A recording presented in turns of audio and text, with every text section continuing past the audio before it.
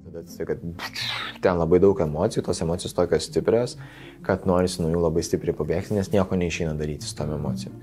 Ir ką daro žmogus, jisai niekada, nu kaip ne niekada nelaukia, bet dažniausiai jeigu jis automatiškai tą daro, jis nesulaukia piko emocijos. Jis, jeigu pikas yra čia, ne, tai žmogus pabėgs šitoje vietoje. Ir kas įvyksta, smegenys galvo, ai, tai čia pikas dabar. jeigu jau čia bėgi, vadinasi, čia jau pavojinga. Nors šiaip pikas čia. Kaip pradėti iš naujo? Kaip nugalėti visas su tuo susijusias baimės, kaip atrasti savo misiją, savo pašaukimą, savo didįjį tikslą ir kaip turėti energijos jo siekti. Ir kas tas japoniškasis ikigai? Apie visą tai kalbam šiandien su psichoterapeutu Dainium Jekučioniu, kuris ir pats visai neseniai pradėjo iš naujo, nors norėjo tą padaryti jau labai seniai. Aš esu Aurimas Mikalauskas ir čia laida Pradėk iš naujo.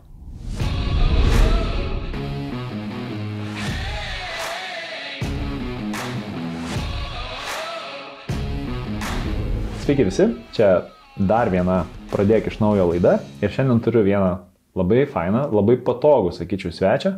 Patogų dėl to, kad jisai viena vertus pats yra pradėjęs iš naujo ir apie tai galės tikiuosi papasakoti. E, kita vertus, jis yra psichoterapeutas ir dirba su žmonėmis, kuriems tenka turbūt nekartą pradėti iš naujo savo galbūt asmeniniuose santykiuose, galbūt e, versle, galbūt savo darbą nusprendžia keisti ir panašiai. Tai apie tai pakalbinsim Dainių Jekučionį, kuris, aš asmeniškai jį pažinau kaip bendros praktikos gydytoją, kai mes susipažinom, jisai buvo mano šeimos gydytojas, o šiandien jis yra kognityvinės ir elgesio terapijos psichoterapeutas. Labas Dainiu. Labas. Tai aš tam norėsiu pasikalbėti keliom temom šiandien. Norėsiu pakalbėti apie vieną iš tavo arkliukų, apie ilgamžiškumą. Apie mylimą veiklą pakalbėsim, kadangi tai yra labai aktuali tema visiems, kas žiūri šitą podcastą. Tai kaip rasti tą mylimą veiklą, su kokiam baimėm susiduria, aš papasakosiu, su kokiam baimėm susiduria, tu gal geriau papasakosi, ką daryti, kai susiduria su tom baimėm žmonės. Um, ir turėsiu pabaigai paskui tokių blitz klausimėlių tiesiog apie tai, galbūt apie, apie tavo tą gyvenimo būdą, kurį tu pats atradai, nes labai esi aktyviai ieškantis ir, ir tai kaip išlaikyti tą aukštą energijos lygį gyvenime ir ilgamžiškumo tikrai tema man yra labai labai įdomi, tau irgi įdomi, tai Atrado. apie tai tada norėsiu ir pasikalbėti. E, bet pradžioje aš turiu tau tokį klausimą. E, kai mes susirašinėjom dėl šito pokalbio, toks buvo man keistas momentas, kai tu sakai, nu, jeigu reikia, e, tai padarom šį penktadienį, nes aš išvažiuoju į Nidą atostogų mėnesį. Ir man toks buvo kaip mėnesį, rimtai, tu nejauti kalties jausmą išvažiuodamas taip vidury žiemos, mėnesį atostogų palikdamas visus savo pacientus, klientus. Um, tai čia taip dar pagavai, nu, žinai, jeigu aš pasakysiu, kad nejaučiu kalties jausmą, tai kaip dabar pacientai jausis tada, jeigu jie pamatys, tai Jeigu sakysiu, kad jaučiu kaltės, tada kaip aš turiu tada jaustis, kad taip darau, toks dviprasmiškas yra klausimas, bet e, aš visai jaučiuosi turbūt. E, bet viena vertus tai turbūt yra momentas, kai pirmą kartą savo gyvenime leidau pasidaryti tokias ilgas tos. Iš tikrųjų atostogausiu iki naujų metų, e, tik tai, kad Nidoje būsiu mėnesį. Ir tai momentas, kada aš noriu truputėlį vėl pergalvoti dalykus, kur aš einu ir kur, kur darau ir ką darau. Tai tiesiog toks laikas, tikiuosi, kad bus tas laikas, kad aš galėsiu nieko neveikti, e, tiesiog nieko neveikti, bet leisiu savo sklandyti mintimis po galbūt savo svarbius dalykus ir grožėtis tą gamtą, kuri ten yra. Ir galbūt kažką sugalvosiu, arba ne.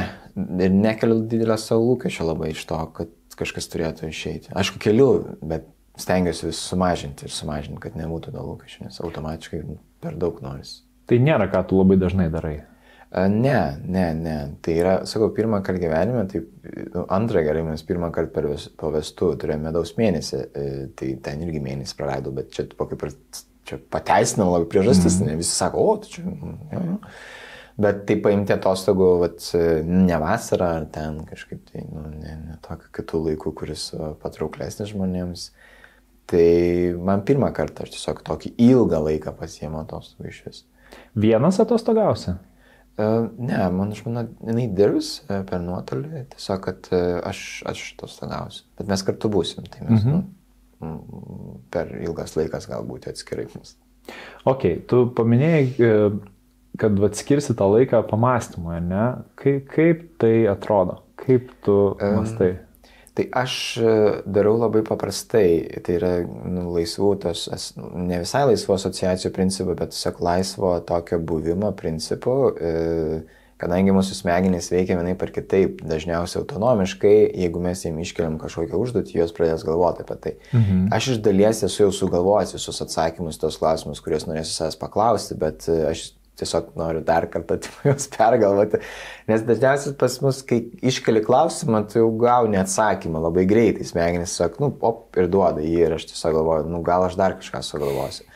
Sunkiausias dalykas bus turbūt priimti atsakomybę ir sprendimą, kad va dabar kaip aš va ten sugalvosiu ar nuspręsiu, kad taip ir turės būti ir aš to laikysiuosi. Mm. E, bet mąstymo principas, geriausias mano mąstymo principas, e, e, kai aš jaučiuosi pakankamai pailsėjęs ir nespaudžiamas deadline, tada aš skiriu laiką su popieriaus lapu, jeigu man reikia kažką konkrečiai sugalvoti. Jeigu tai nėra tokia bendra idėja, tai tada aš sėdu prie popieriaus lapo ir Ir tiesiog ten, nežinau, brainstorminu, tiesiog kas tuo metu vyksta ir tada mintis už minties, jinai vis ten kaupiasi, kaupiasi, kaupiasi, o kartais aš tiesiog sėdžiu ir žiūriu į vieną tašką, arba tai pro langą žiūri ir, ir arba vizualizuoju tai, ką aš, ką aš ten mažiai, jeigu pranešimą kokį nors rengiu, arba kažkokius mokymus, tai aš kartais vizualizuoju tai, ką aš matysiu ten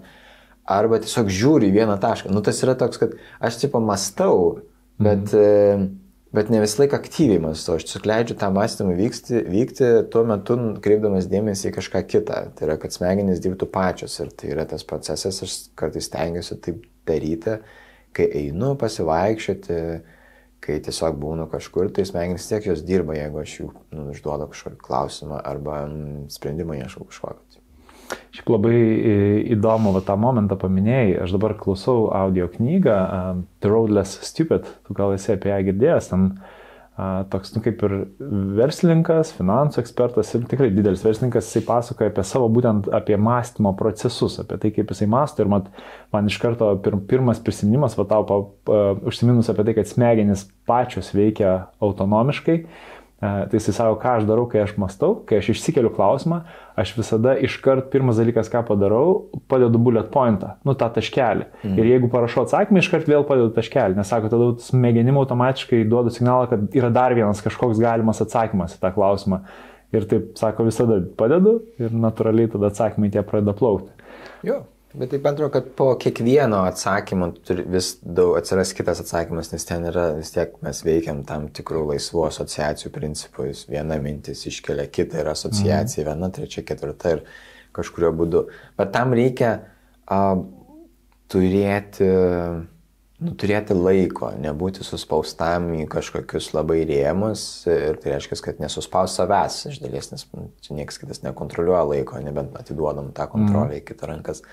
Ir, ir ne visą laiką aš tą turiu, tai tiesiog tas vat, momentas tikiuosi per atostogas, kad aš galėsiu turėti visiškai tą tokį nekontroliuojamą, neapibriežtą laiką, kada smegenys pačios mąstys ir, ir atsakinės į svarbius klausimus man, kurie ir taip ar taip yra užduoti, bet ne visą laiką gal yra atsakomi. Gal tu gali pasidalinti keletą klausimų, kuriuos esi išsi, išsikėlęs, nes man atrodo labai svarbu yra pats klausimas, kokį tu keli, ar ne? Jo, bet tai yra labai, jie yra paprasti, yra ten dėl, dėl, dėl nekilnojamo turto kažkokie, tai yra aš noriu gyventi būti, ar aš noriu gyventi name, mhm. ar, ar aš noriu ir toliau veikti tiek daug veiklų, ar aš noriu konkretizuoti labiau, siaurinti savo veiklas, ar noriu, pavyzdžiui, nu, ar aš noriu psichoterapijai siaurinti savo kažkokią tai veiklą. Ar man reikia su viskuo sutikti ir aš tada būsiu, kiek aš būsiu patenkintas, čia yra kaip, ar man gyventi žemesnėme truputėlį komforto lygyje, bet džiaugtis visą laiką tuo, ką darau, ar gyventi aukštesnėme komforto lygyje, bet tada pervargti, nes dar, darbai veja darbas ir atrodo, mm. nu, kada aš būsiu efektyviausias, nes, nes taip gali būti, kad dauguma žmonių dirba tas, nuo darbo iki darbo, tai yra, sakai, tų darbų labai daug, aš bent jau nespėju pagalvoti, man, aš neturiu kada, man yra per didelis nerimo lygis pagalvoti laisvai apie kažką, kas skirta tik tai man, aš galvoju tik tai apie darbus tada. Ir, ir galvoju, hm, tai čia kitas darbas, dabar čia dar, dar, dar, čia reikia pasiruošti padaryti ir aš net tada negaliu skirti laiko. Tai aš turiu paroje laiko, kad aš savo galėčiau skirti, bet man emociškai yra kažkaip per sunku, aš nu, neišeina atsiriboti man nuo to, kad aš vat, manęs laukia ten po rytą, ne kažkoks ten pranešimas ir aš negaliu atsiriboti vat, dabar, šiandien, skirti ten valandą pagalvoti apie man svarbius dalykus už darbo ribų. Mhm. Ir tipo, kodėl? Bet tai yra mano toks veikimo principas, yra toks nu, nerimo toksai, toks buvimas kars nuo karto, tas nerimavimas, kuris dėl, dėl įvykių yra. Ir aš tada nusprendžiu, kad jeigu man yra mažiau veiklos, tada galiu daugiau skirti laiko pamastymai. Tam. Bet tada reikia aktyviai tą daryti. Tai sėsti ir tada iš tikrųjų, kaip sakai, žinai, nu, tikrai rašyti bullet points, nes mm. kartais tai gali būti um, tas lai, laisvas mąstymas visiškai neproduktyvus, nes, nežinau, pradėsiu galvoti apie tai, ką aš norėsiu valgyti ir ten 10-15 minučių spręsiu, ką aš norėsiu valgyti, nes toks didelis pasirinkimas. Ir tada, bet čia ne, nebuvo labai efektyvu kažkaip išspręsti, nes, tipo, nu, neišsprendžiu. Bet per tas 10-15 minučių aš galėjau sugalvoti pranešimo idėją ir outline pasirašyti. Realiai, jeigu nu, būčiau leidęs. Mm. Tai yra, nu, tai tas, čia toks triki dalykas. Ne visą laiką gaunasi taip, kaip norisi. Nors ir žinai teoriškai, kad vat, galėtų taip gautis.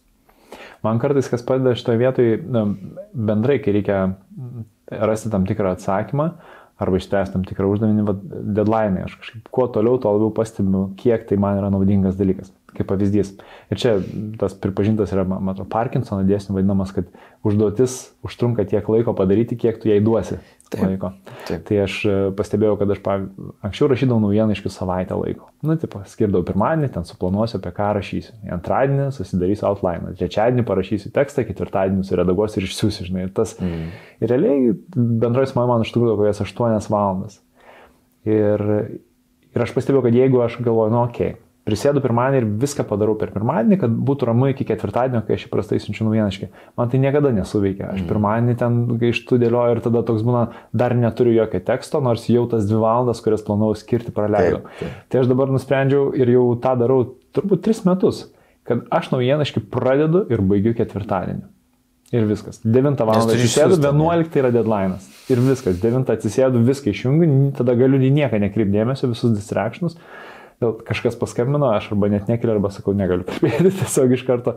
Ir viskas. Ir, ir tikrai nuo to labai stipriai nenukentėjo kokybė. Nu, šiaip realiai dabar šiek tiek perkelti turėjau tai trečiadienį, dėl to, kad pradėjome ir garsinti tos laiškus, mm. bet iš esmės tada irgi deadline'as yra trečiadienis. Ir, Na, nu jo, tiesiog pasikeičia diena. Ir tas deadline. kažkaip suveikia. Tai tik nežinau, vat, ar veiktų su tais dalykais, kur tu, nu, kaip ir nėra, nu, aiškaus galtinio rezultato, vat, kai tu mastai ar ne apie kažkokius dalykus.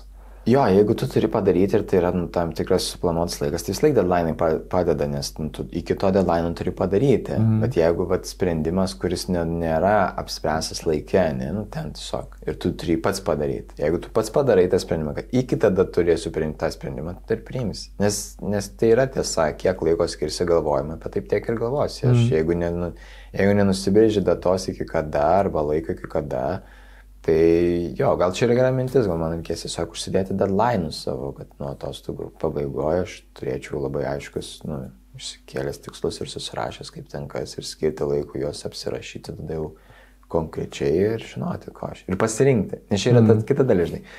E, sunkiausia yra ta, toje, toje a, būsenoje, kol tu nesi pasirinkęs. Tai yra ta abejonė. Nes jeigu aš renkuosi iš dviejų, aš nepasirinku, aš negaliu judėti toliau. Bet kai tik aš pasirenku, aš iškart galiu tada judėti toliau. Ir viskas. Ir kai aš judu toliau, man tada pasidaro jau lengviau, nes aš tiesiog darau tai, ką reikia daryti, kad įvykdytų tavo pasirinkimą. Ir kelio gal nėra. Ir tikriausiai net geriau kartais yra pasirinkti neteisingą kelią, juo nueiti ir tada pradėti iš naujo. Taip, taip. Nei kad svarstyti ir nepradėti nei bus vieno. Bus vis tiek greičiau, realiai bus greičiau, nes dauguma žmonių tiesiog sustoja ties to apsisprendimo akimirkos, kur neapsisprendžia ir mm. tada jie užtrunka tam labai daug laiko buvime, ten tiesiog tame ne, neapsisprendime. Tiesa. E, iš tikrųjų, ne, neplanavau, kad taip šitą diskusiją, kuri prasidės nuo atostogų, nuplauks, tai aš dabar norėčiau pagryžti šiek tiek ir paklausti, na, grįžti tą momentą, kai mes susipažinom, kai tu buvai iš tikrųjų bendros praktikos gydytas, tai... Šeimos gydytas. Aš ne tas pats. Nebėra bendros praktikos gydytojai, visi yra šeimos gydytojai dabar. Aš šiaip galvojau, kad tas, Aš tas GP terminas, kur yra, tai Taip, yra bet mes turime kitą. tiesiog šeimos, Taip, šeimos. šeimos gydytas. Taip, šeimos gydytojas. Tai tu buvai... Mes visą šeimą. O tuo metu buvai šeimos gydytas. Taip, bendros praktikos. Ne, ne, jau, tada buvo, mes tik iš įpročio jie buvo vadinami visi bendros praktikos gydytojai, bet jau buvo seniai pakeistas terminas. Aš supratau. Gerai, nu dabar, ne, ne, dabar jau geriau žinosiu. Kad mano kolegų nevadink asmeniškai. Gerai, tai šeimos gydytojas. Ir kai tu pasakai, kad išeini, nes tu buvai mano šeimos gydytojas ir aš taip patėdavau pas tave ir tu sakai išeinu ir man toks buvo, kaip suprast. Nu, toks atrodo, tai nevyksta tokie dalykai, kad Mhm. gydytojas taiga išeina ir kažkur. Ir tuo metu tu neėjai dar tiesiai į psichoterapiją, ne? Tu kažkaip... Jo, aš neėjau į psichoterapiją, aš ėjau į mokymų, mokymų įmonę. Ir, ir nu, psichoterapija visą laiką buvo mano tas, ta dalis, kuri aš svajojau būti, aš siekiau joje būti ir aš dėjau realiai visas pastangas, kad joje būti, bet aš ne iki galo vis dar tuo metu jau jaučiausi užtikrintas, kad aš galėsiu išgyventi vien tik tai iš psichoterapijos. Mhm. Tai dėl to aš, nu, man tiesiog atsirado pasiūlymas tada eiti į mokymų įmonę, ir man, nes man mokymai irgi patinka šitoje vietoje. Ir, nu, nu, turbūt stovėti ant scenos man patinka, čia gal šita dalis yra labiau. Okay. Ir, ir tai buvo toksai kaip ir nu, per, perėjimas toje situacijoje. Ir mes ten, nu, ten po to, aš buvau įmonėje, tada um, vyko pokyčiai įmonėje, tada mes tą kaip nu, atsisakėm ofiso, tada aš daugiau laiko praleisdavau save kabinete. Tada tuo metu aš, kadangi turėjau daug- kažkaip daugiau laiko, tada aš daugiau galėdavau priimti pacientus, žiūriu, kad jau, žiūriu, kad visai neblogai, aš jau galiu būti laisvas nu, nuo, nuo galbūt e, e, sutartinio, žinai, darbo su sutartimi įmonėje, prie, pasilikti prie free- freelancerio tokio ir, mhm.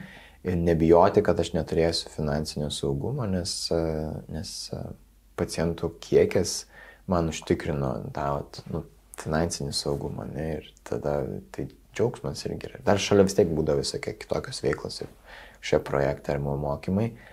Tai buvo tas, bet aš visą laiką norėjau būti psichoterapeutu, net kai aš kai stojau į šeimos mediciną, aš iš karto stojau ir psichoterapiją ir tai buvo tas daž, du, Okay. du, du, du, du dalykus vienu metu mokiausi. Tiesiog žinau, kad kažkada aš tą padarysiu, tik aš nežinau kada. Nu, aš, taip, aš ilgai jau galvojau, prieš tai, kai pasirink, pasirinkau tą iš- ėjimą, nu, išeiti iš šeimos medicinos, tai aš jau buvau galvojęs gal metus ar pusantrų apie tai.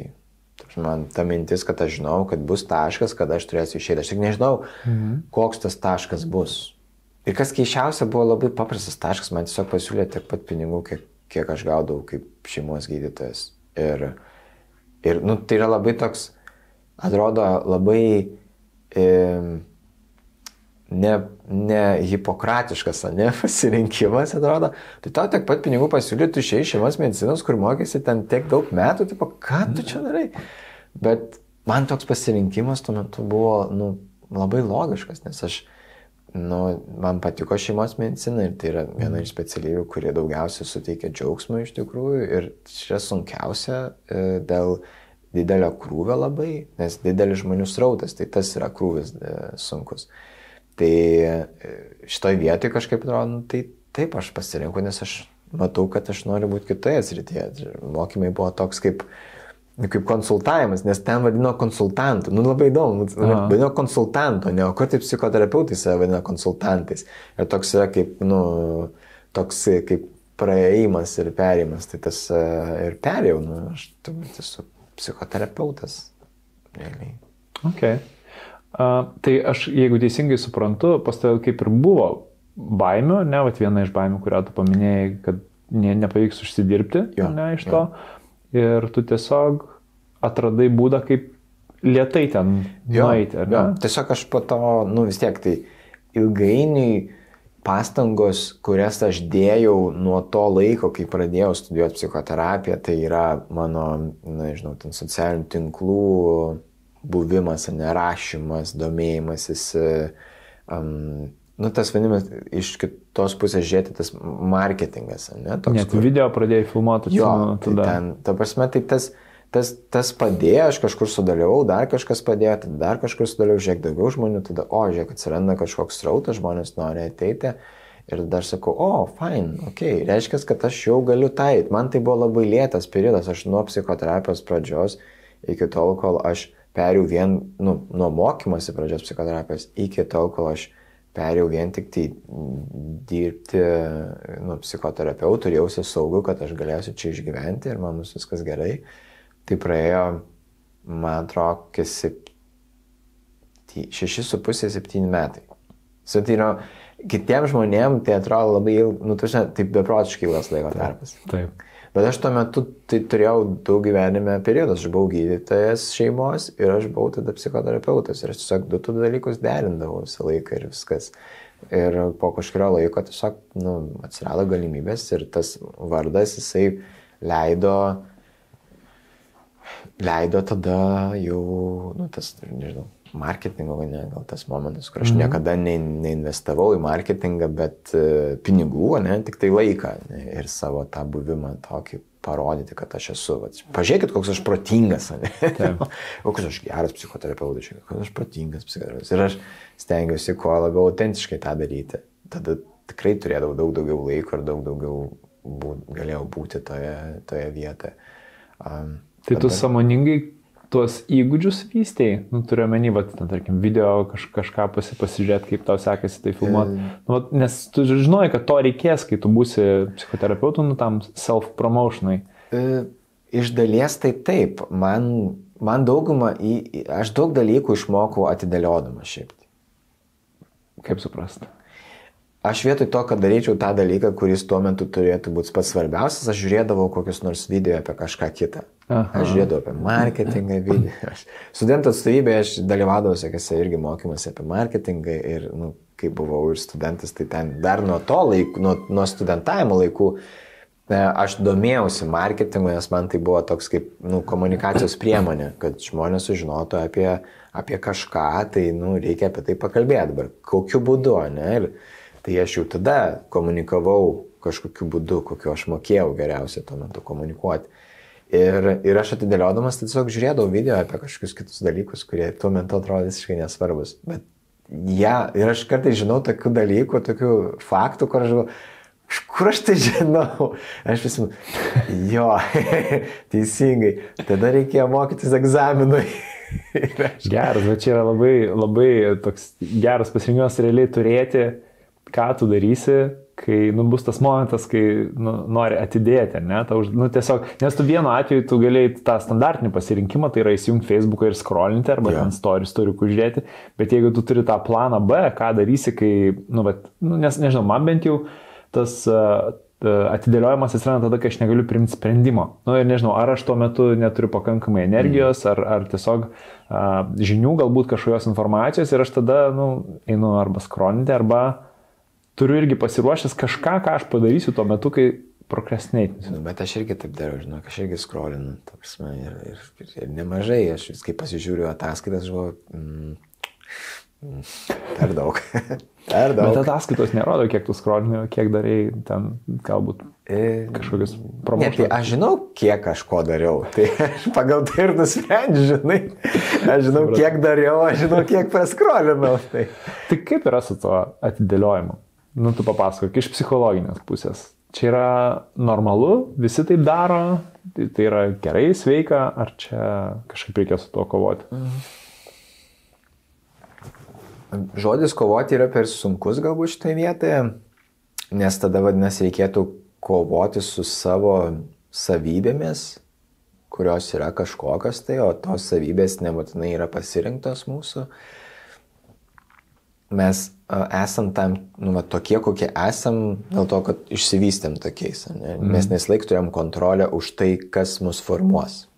Mes neturėjom kontrolės pasirinkti tėvus, neturėjom kontrolės pasirinkti darželį, mokyklą, um, draugus mes kaip ir turėjom kontrolę pasirinkti, bet ne visai, nes nesam vaikai sąmoningi, tai mes galėjom pasirinkti draugus, su kuriais mes tiesiog būsim kietesni, bet nebūtinai jie mums naudingesni tie draugai, nu, jie mus išves kažkur iš kelio. Arba mes negalėjom pasirinkti ten, nežinau, būti patyčio objektu arba nebūti patyčio objektu. Mhm. Kažkas galėjo sakyti, tu jo, turėjai galimybę pasirinkti, galėjai duoti atgal, galėjai. Nu, bet negalėjau duoti atgal. Bet tu galėjai sportuoti. Nu, jo, bet aš tuo metu nebuvau toks suvokintis, kad jeigu aš, net aš netikėjau, kad galėčiau duoti atgal. Nu, tiesiog. Ir tada aš net nesuvokiau, kad aš galėčiau sportuoti tam, kad galėčiau duoti atgal, nes man reikia suvokimo to, kad aš padaręs vieną veiksmą um, gausiu kažkokį rezultatą. Ir dar ne iš karto. Taip, ir dar ne iš karto, bet aš to nežinau. Mhm. Tai grįžtant prie atidėliojimo, tai yra mes, jeigu taip žiūrint labai paprastai, tai yra emocijų reguliavimo problema. Labai, jeigu apibrėžiant, ne, nes e, atidėliojimas yra atidėjimas e, arba nedarimas svarbios veiklos ir tuo metu darimas kažko, kas yra mažiau svarbu arba malonu. Ir kodėl tai yra labai svarbu, kas yra mažiau svarbu ar malonu, dažniausiai tai yra dėl to, kad svarbi užduotis kelia nemalonų jausmą. Mhm. Kažkokį tai, galbūt tai nerimavimas yra dėl užduoties, gal yra kažkokios baimės, gal yra kažkoks nuomodulys, gal yra kažkoks tai, vat, um, nepasitikėjimas savimi, tas toks pojūtis, kad vat, aš čia nesugebėsiu, ne? ir tada atsiranda iš to irgi nerimas, ir tada yra nemalonu. Tai yra nemalonu, tai nėra blogai, tai nėra neigiamas dalykas, bet tai yra nemalonu. Ir ką mes darome, mes to nemalonumo vengiam. Ir mes norim išvengti to nemalonu, ne tos, iš dalies mes nenorim išvengti tos užduoties, bet mes norim išvengti to pojūčio, to jausmo, kurį atneša ta užduotis. Nes mes labai norėtume tą užduotį padaryti va taip, kad jinai būtų labai lengva. Ir jeigu mums kažkas pakeistų tą pojūtį su ta užduotimi, mes ją imtume ir padarytume. Ką parodo vėlesni, vėlesni veiksmai, jeigu mes iš tikrųjų prisėdam prie užduoties ir ten nu, pritaikom kažkokią techniką. E, bet tai kas atsitinka, mes norim pabėgti nuo tos nemalonios emocijos ir pasirenkam kažką veikti, kas yra malonaus. Kas tokia staigiai suteikia malonumą. Jo, ne? kas, kas, kas nustumia, kas padeda išvengti to nemalonaus jausmo. E, Ir e, tuo metu mes pasijaučiam gerai. Tai yra du- duoda dvi pasiekmes. Tai yra aš išvengiau nemalonaus jausmo, viskas yra tvarkoj, tas sunki užduotis yra atidėta. E, Nu, tai tai yra aš nesijaučiu blogai, nes va, aš šiuo metu gerai jaučiuosi, nes kažką kitą veikiu, tai yra malonu. O tos neigiamos pasiekmes ir galbūt ilgalaikės neigiamas, kas tas darbas yra atidėtas. Jis yra vis tiek nepadarytas ir aš jos tiek nepradėjau daryti. Ir aš tuo metu prisiminęs, kad nepadariau ir atidėliojau, aš pradedu galbūt save kaltinti. Čia skirtingi žmonės, jeigu jie moka daugiau atjausti save, tai jie mažiau pradeda kaltinti save. Čia na, patyrusių atidėliotojų būdas yra, jeigu jie išmoksta atjausti save ir nebeplaka vakarais um, naujoko atidėliotojų, ne, kurie dar nesusipažinę su atjautos momentu, tai jie plaka save vakarais ir jiems labai sunku. Kita rytą vėl tas pats yra. Kas atsitinka, kodėl įdingas ratas susidaro iš dalies, nes vėlgi, aš savo smegenim pasakiau, kad tai yra nemalonu, nes aš patikėjau tuo jausmu. Ir aš nu, neišbausiu to jausmu ir nepadariau kažko, kas pakeistų smegenyse tą informaciją. Nes ta informacija, kad man nemalonu, smegenys supranta labai tiesiogiai. Ai, blogai, užduotis, ai, tu čia jautiesi blogai dėl šitos užduoties, tai nedarom jos.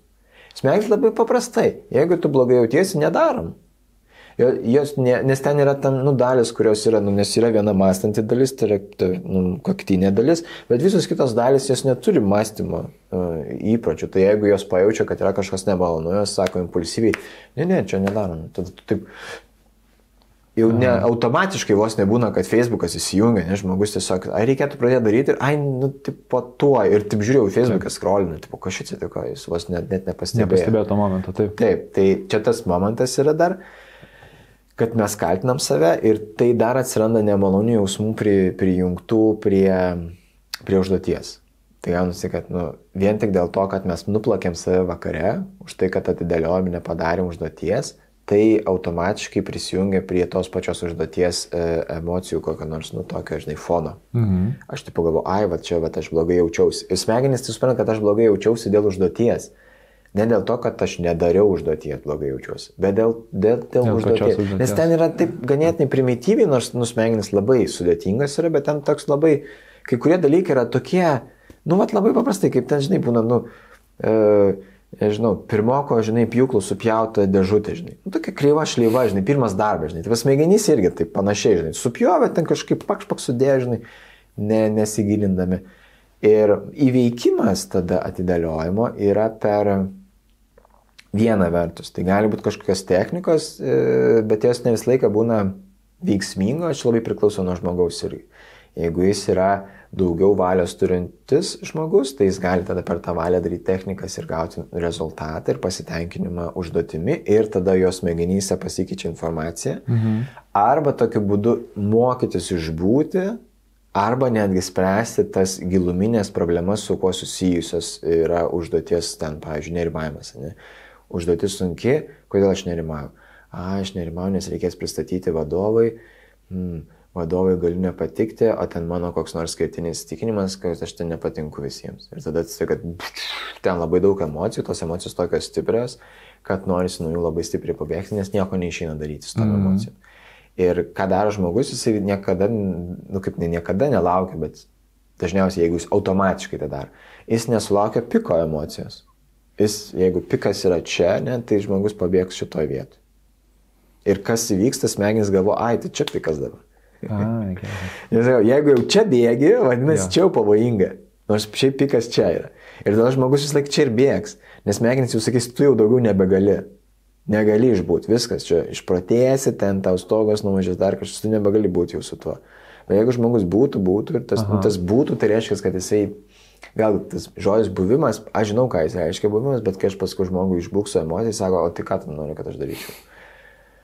Nu, jo, ten ilgas procesas su to, ką reiškia išbūti. Tai tiesiog, nu, jeigu mes e, ištoleruojam tą emociją, neskatindami jos ir nebėgdami nuo jos, tai yra tokia, kad leisdami savo išjausti ją iki galo, bet neprikurdami dar šalia minčių kažkokių, tai dar ten, nežinau, katastrofinių su tuo, ką jaučiame. Tada mes galime išbūti. Bet tai yra, e, nu, procesas ilgesnis truputėlį išbūvimo. Žmogus gali išbūti su tą emociją, jisai gali pakeisti tą emociją kažkokią tai kitą. Jeigu aš bijau, kad nu, aš ten nuvilsiu vadovą, tai kaip aš galiu įsispręsti tą situaciją. Ne užduoties situaciją, nes jau matai, pasikeičia objektas visiškai. Pradžiai aš užduotis yra problema, bet iš dalies užduotis nėra problema. Užduotis yra, ką pagalvos kiti. Mm. Problema yra, kad ką pagalvos kiti apie tai, jeigu aš padarysiu blogai tą užduotį. Ir čia yra problema. Ir čia yra tada, jau čia yra giluminis dalykas, ne jau čia gali būti viskas. Bet mes žiūrime į atidėliojimą kaip, ai, čia bevaliai žmonės, tinginiai čia. Nu, ir tada atrodo, nuvertini visiškai žmogų jo problemą, nes tai yra emocijų mm. reguliavimo problema. Čia nėra kažkoks technikų nežinojimas dar kažkas. Bet jeigu imti vieną techniką, kuri man atrodo geriausia pasiteisinusi yra man ir daugumai kitų žmonių, kurie kalba apie atidėliojimą, tai yra tokia technika, vadina, penkios minutės kančios. Tai yra Net jeigu man yra labai labai labai blogai, bet tai yra tas momentas, kur aš turiu dar neįeiti į tą nu, atidėliojimo ciklą, aš galiu prisėsti tą veiklą ir pasakyti savo, aš pe, tik penkias minutės darysiu. Aha. Po penkių minučių aš galiu nuspręsti, ar aš toliau tęsiu tą veiklą, ar aš e, darysiu kažką. Bet čia yra tas tikrai nuoširdus pasakymas, kad jeigu man nepatiks po penkių minučių ir man aš blogai jausiuosi, aš tikrai nutraukiu ją ir nebedarau. Okay. Kas įdomiausia, kad dažniausiai pradėjus tą veiklą po penkių minučių, ta, e, ta emocinė būsena, jinai nurimsta, susitvarko. Ta prasme, nebe, nebebūna tiek daug tų nemalonių jausmų. Nes yra e, kitas momentas, mes pram, pradedam daryti, Ir iš to darimo jau atsiranda mini pasitenkinimas, kad aš jau pradėjau daryti. Ir kai pradedu daryti, aš pamatau, kad nėra taip sunku, kaip aš jaučiuosi, kad yra sunku.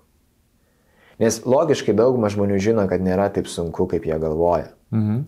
Kodėl jie pabėga nuo tos žodės? Nes jie jaučiasi sunkiai. Tai yra jų jausmas juos nu, nuveda į kitur.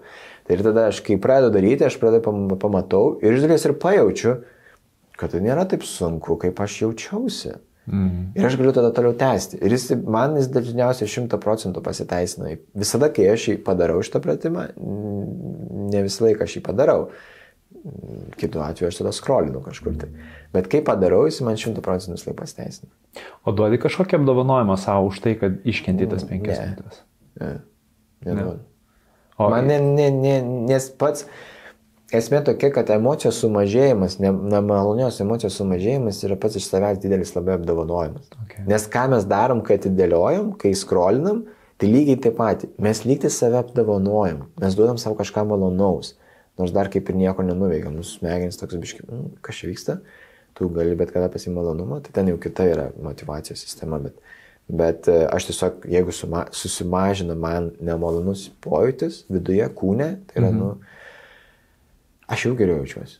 Ir tai yra man kaip apdovanojimas. Okay. Ir tas, kad aš padarau tą, ne, užduotį, tai yra iš dalies, man bent jau tai yra didžiausias apdovanojimas. Aš negeriausiai jaučiuosi, kad aš tą padariau ir man, o, fu, fu, man dabar nereikėtų dėlioti dar tris dienas, o aš jau, jau žiūrėk, jau padariau, o, kaip lengva buvo. Aš tai užtrukau tik 15 minučių. Come on. Tu kalbėjai apie tą procesą, apie išbuvimą su ta sunkia emocija. Ne? Ir kad e, minėjai, kad tai nėra lengva. Mm. Iš tavo patirties, kiek realu, kad žmogus pats tą procesą, žinodamas, kaip tai atrodo, mm. galės atlikti? Ar tam reikia paprastai to kažkokio facilitatoriaus, kažkokio žmogaus, kuris tau padeda per klausimus, nu, į, įlysti ir suprasti, dėl ko iš tikrųjų ta emocija kyla, nes kaip tu sakai, vat, pavyzdžiui, kad ne pati užduotis kelia tą emociją, o tai, kad, nu, tu, ar tu jos, kad negali padaryti, ar, ar kad jeigu padarysi ne taip, ką žmonės pagalvos, ar jeigu, kad nepadarysi, vat, visi šitie dalykai, kiek realu yra pačiam žmogui dirbti su tuo, ir kiek, vat, ne, nežinau, tu tarkim esi kaip psichoterapeutas, kiek tu pats gali dirbti, ar tau irgi kartais reikia pagalbos, kad kažkoks kitas žmogus, kuris yra na, visiškai mm. atskiras nuo tavęs ir jisai gali tikrai be emocinio įsitraukimo tau padėti, vat, kiek, kiek, kiek, kiek tau reikėtų to tokios pagalbos. Tai labai priklauso nuo, nuo situacijos, bet e, nėra, žinai, norėtų pasakyti, kad e, visi gali tą padaryti. Mm bet tai būtų turbūt netiesa, nes, nu, iš, kaip čia, iš vienos pusės, tipo, teoriškai visi gali tą padaryti, nes mm. jų niekas nelaiko ten surišęs. Bet tada praktinių dalykų daug veikia tokių emocinių momentų, kurie ne visą laiką yra sukontroliuojami, žmogus ne visą laiką moko juos sukontroliuoti. Ir tada kažkam reikia padėti, kad tą padarytų. Kartais reikia saugios aplinkos, kad žmogus galėtų išbūti su to jausmu, kad jisai galėtų, nu, žinotų, ką tai reiškia ir kiek tas jausmas gali tęstis ir, kad jis galės išeiti, bet jisai turi žinoti, kas čia vyksta. Tai kartais reikia tavo facilitatorius. O kartais, kartais tai gali būti, nežinau, žmonės, kurie domisi mindfulness arba meditacija, tai jie patys ir išmoksta to iš dalies. Nes daug mindfulness yra apie tai, kaip išbūti. Ir tada po kažkurio momento mindfulness Pačioje pradžioje tiesiog ten susipažįstama, bet kažkur da jau ten, kai einama į gilesnį ir gilesnį tą momentą,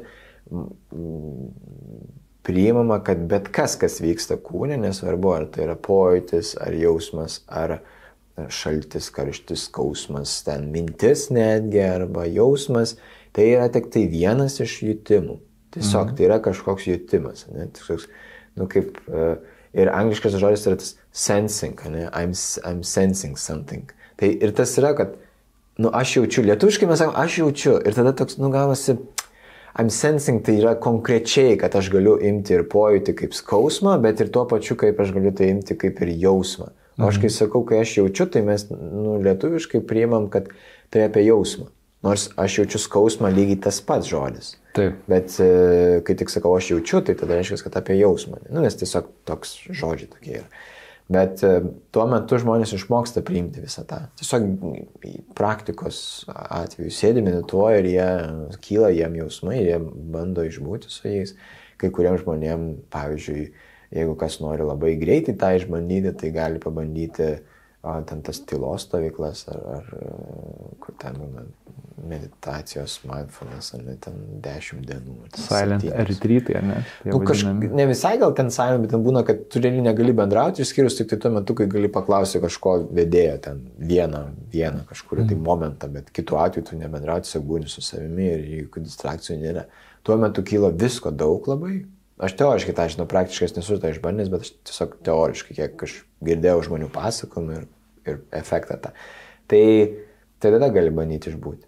Bet mm. kitu atveju, jeigu žmogus nu, gali kreiptis į psichologą ar psichoterapeutą irgi, kad su tuo jausmu jisai galėtų išbūti ten kartu su kitu žmogumi ir pajausti, kad o, saugu yra išbūti. Ir atsiras nauja patirtis smegenyse, kad gali žmogus su tuo išbūti. Ir tada viskas toliau eina. Okay.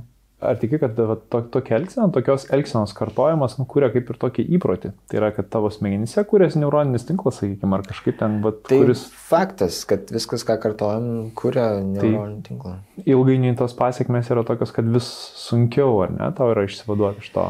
Nebūtinai, kad sunkiau, tiesiog dauguma žmonių il, tiesiog iki deadline labai ilgai kenčia mhm. ir deadline vis tiek pasi, pasiekia ir padaro tą. Dauguma žmonių neturi pasiekmių, kas yra įdomiausia. Ir neturėjimas pasiekmių vėlgi pateisina atidėliojimą. Hmm. Jeigu, ta prasme, aš užduotį įvykdžiau, kad ir paskutinę minutę, bet jinai buvo pakankamai gera, ne, ne super tobula, ne tokia kokia, jeigu aš būčiau daręs normalų laiką, bet pakankamai, išsisukau.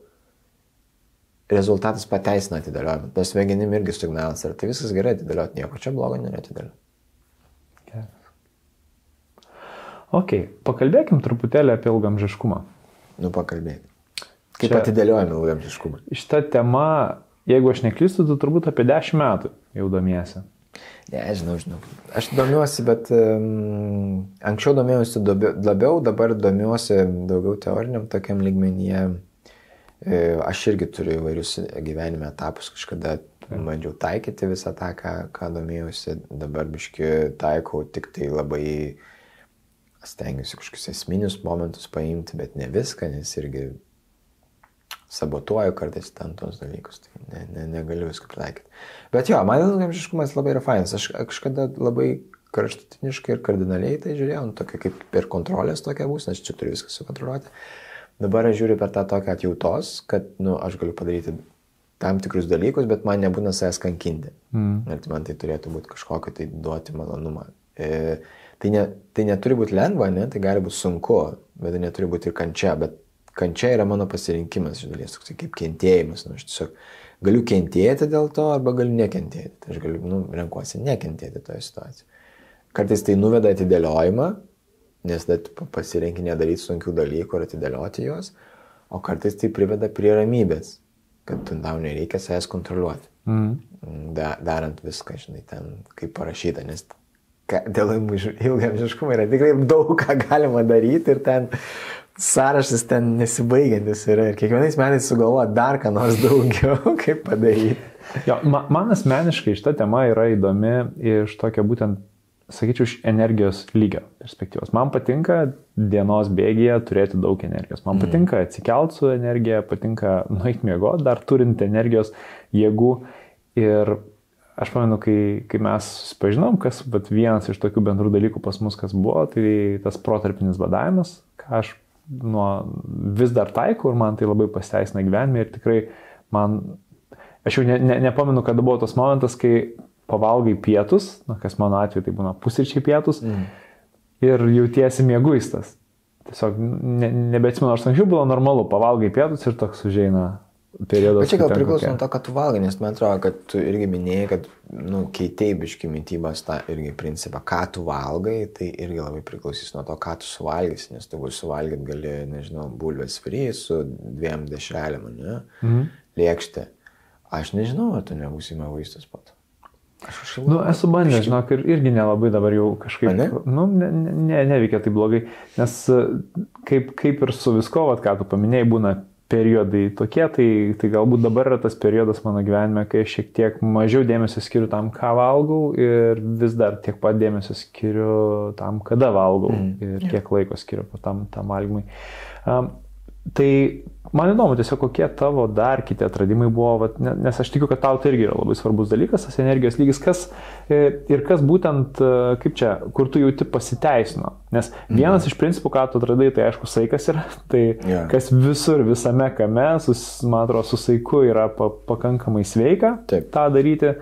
E, tai lygiai taip pat ir su mytyba irgi nereikia persistengti ir visą dėmesį savo sukoncentruoti tiek į tai.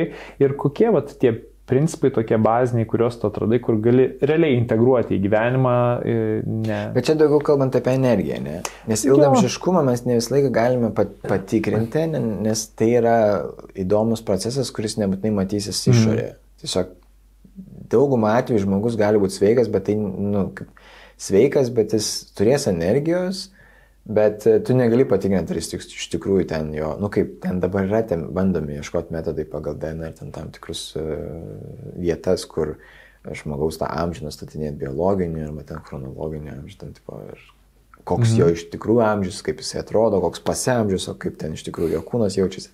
Tai kaip yra, bet jie iki galo, iki galo jie nėra, tipo, pasakyti, o mes va šitą metodą naudojam ir įsitinkam, tai dar kol kas nesusitarė.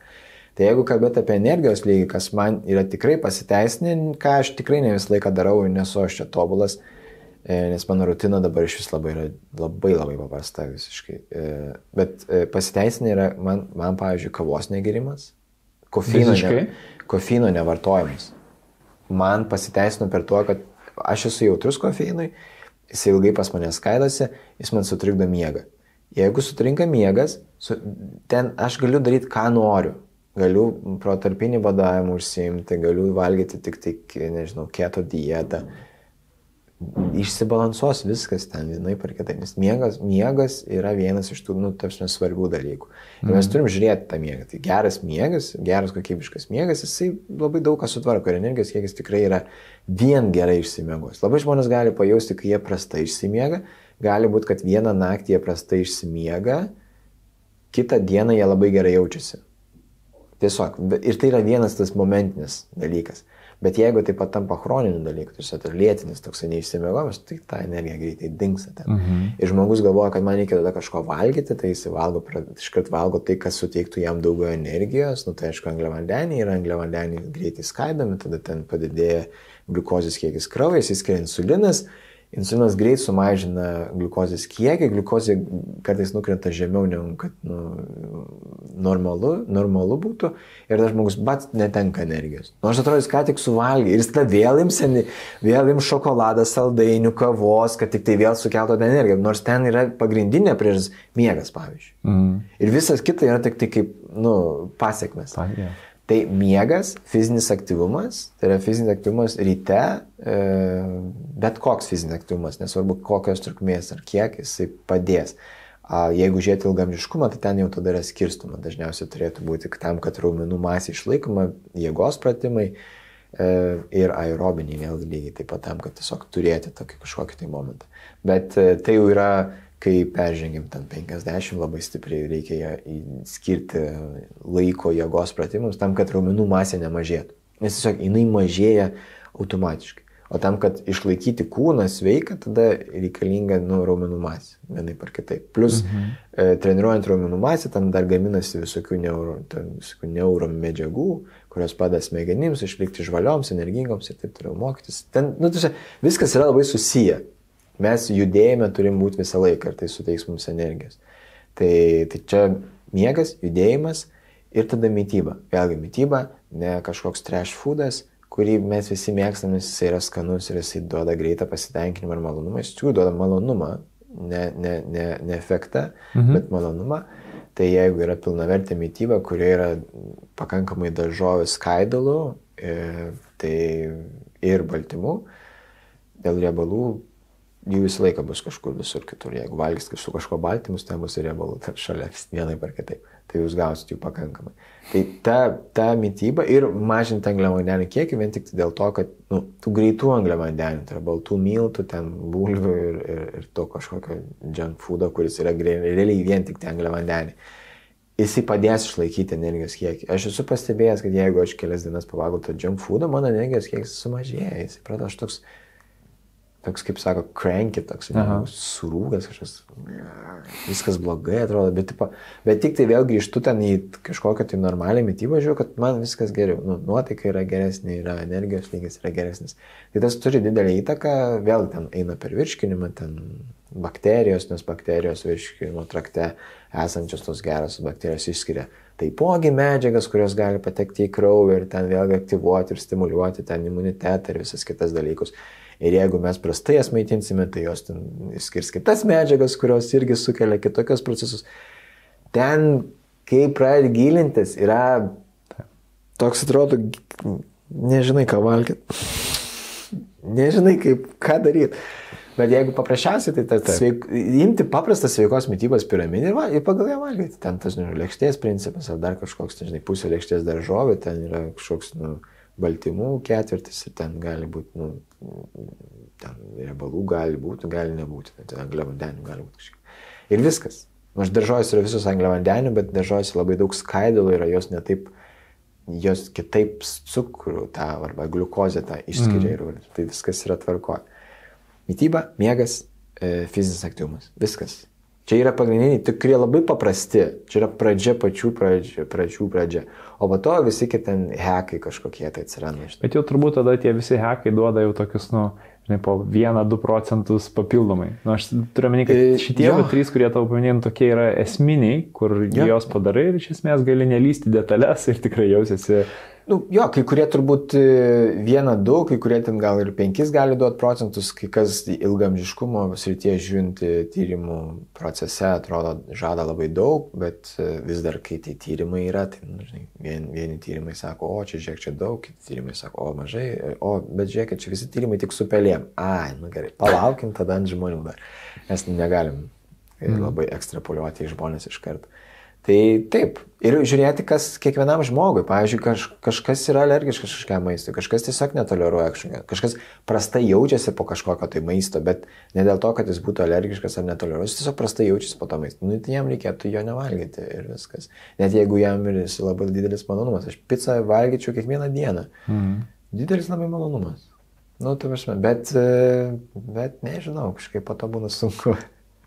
Man labai patiko, kai mes šią vasarą buvom atnidai susitikę ir pietavom ir tu pasakoji apie tai, kai sakai, nu, bet aš pavalgau ir aš jaučiu, kaip mano, kas, kas vyksta mano kūne, nu, vat, skrandis, stebiu ir iškart, jeigu kažkoks bent diskomfortas yra, tai tu iškart labai fiziškai tą pajauti. Jo, jo, aš turiu šitą, aš galvoju, kad visi turi, bet pagal tave tai supratau, kad ne. Ne, bet žinai, aš tiesiog, man kiek, aš žinau, ar man tas maistas tiko ar ne, iš karto, momentaliai. Ir aš gal kartais netgi, man tai padeda apsisaugoti, biški, nuo tokio apsinuodimo, jau kritinio, nes mm. šią savaitę buvau apsinuodęs ir aš pajaučiau, kad jau man blogai po pirmo karto, kai suvalgiau, bet aš pada dar turėjau porciją to paties maisto, aš dar suvalgiau, iš kažkaip, čia kažkas negerai. Bet gal taip pat tiesiog, kad per daug suvalgiau. Nu. Bet jau vakare jaučiu, kad mm, ne ok. Nes dažniausiai, kada žmonės pajaučia, kad apsinuodė, tai yra naktį. Jie mm. pra, juos tarp supykina, nes jau organizmas jau sako, nu, kom, tu nieko nepadarėjai? Tipo, kažką reikia. Tupsa, mes tau padėsim jau. jau žinai, nes jau mes jaučiame, kad čia daug toksino išsiskyrė, nes suvirškina visą maistą. Tai aš tą pajaučiu, tada, nu, tiesiog imu priemonių, kad ne, ne, man nereikėtų vemti, nes aš labai nemėgstu. Mm. Um, Dar apie mytybą noriu prieš uždarant šitą klausimą. Vat, e, vienas klausimas, kuris man čia kiek neduoda ramybės, tai tas maisto produktų maišymas, ar ne, ten angliavandeniai, baltymai ir ten kai kas sako, ten nevartoti kartu to pačiu, ar ne, ten žinau, baltymų ir angliavandenių reikėtų atskirai valgyti ten.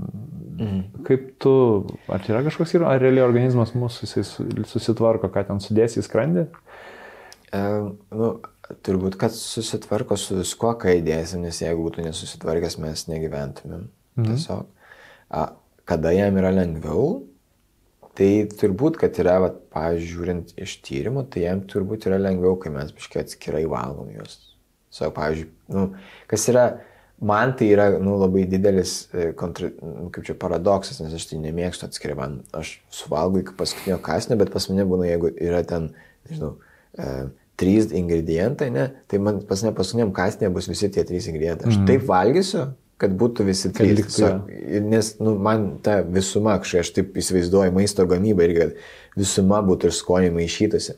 Bet jeigu žiūrėti iš tyrimų, tai iš tikrųjų, e, jeigu mes prieš angliavandenius suvalgom daržovių arba baltymų, netaip stipriai pašoka gliukozės kiekis kraujyje.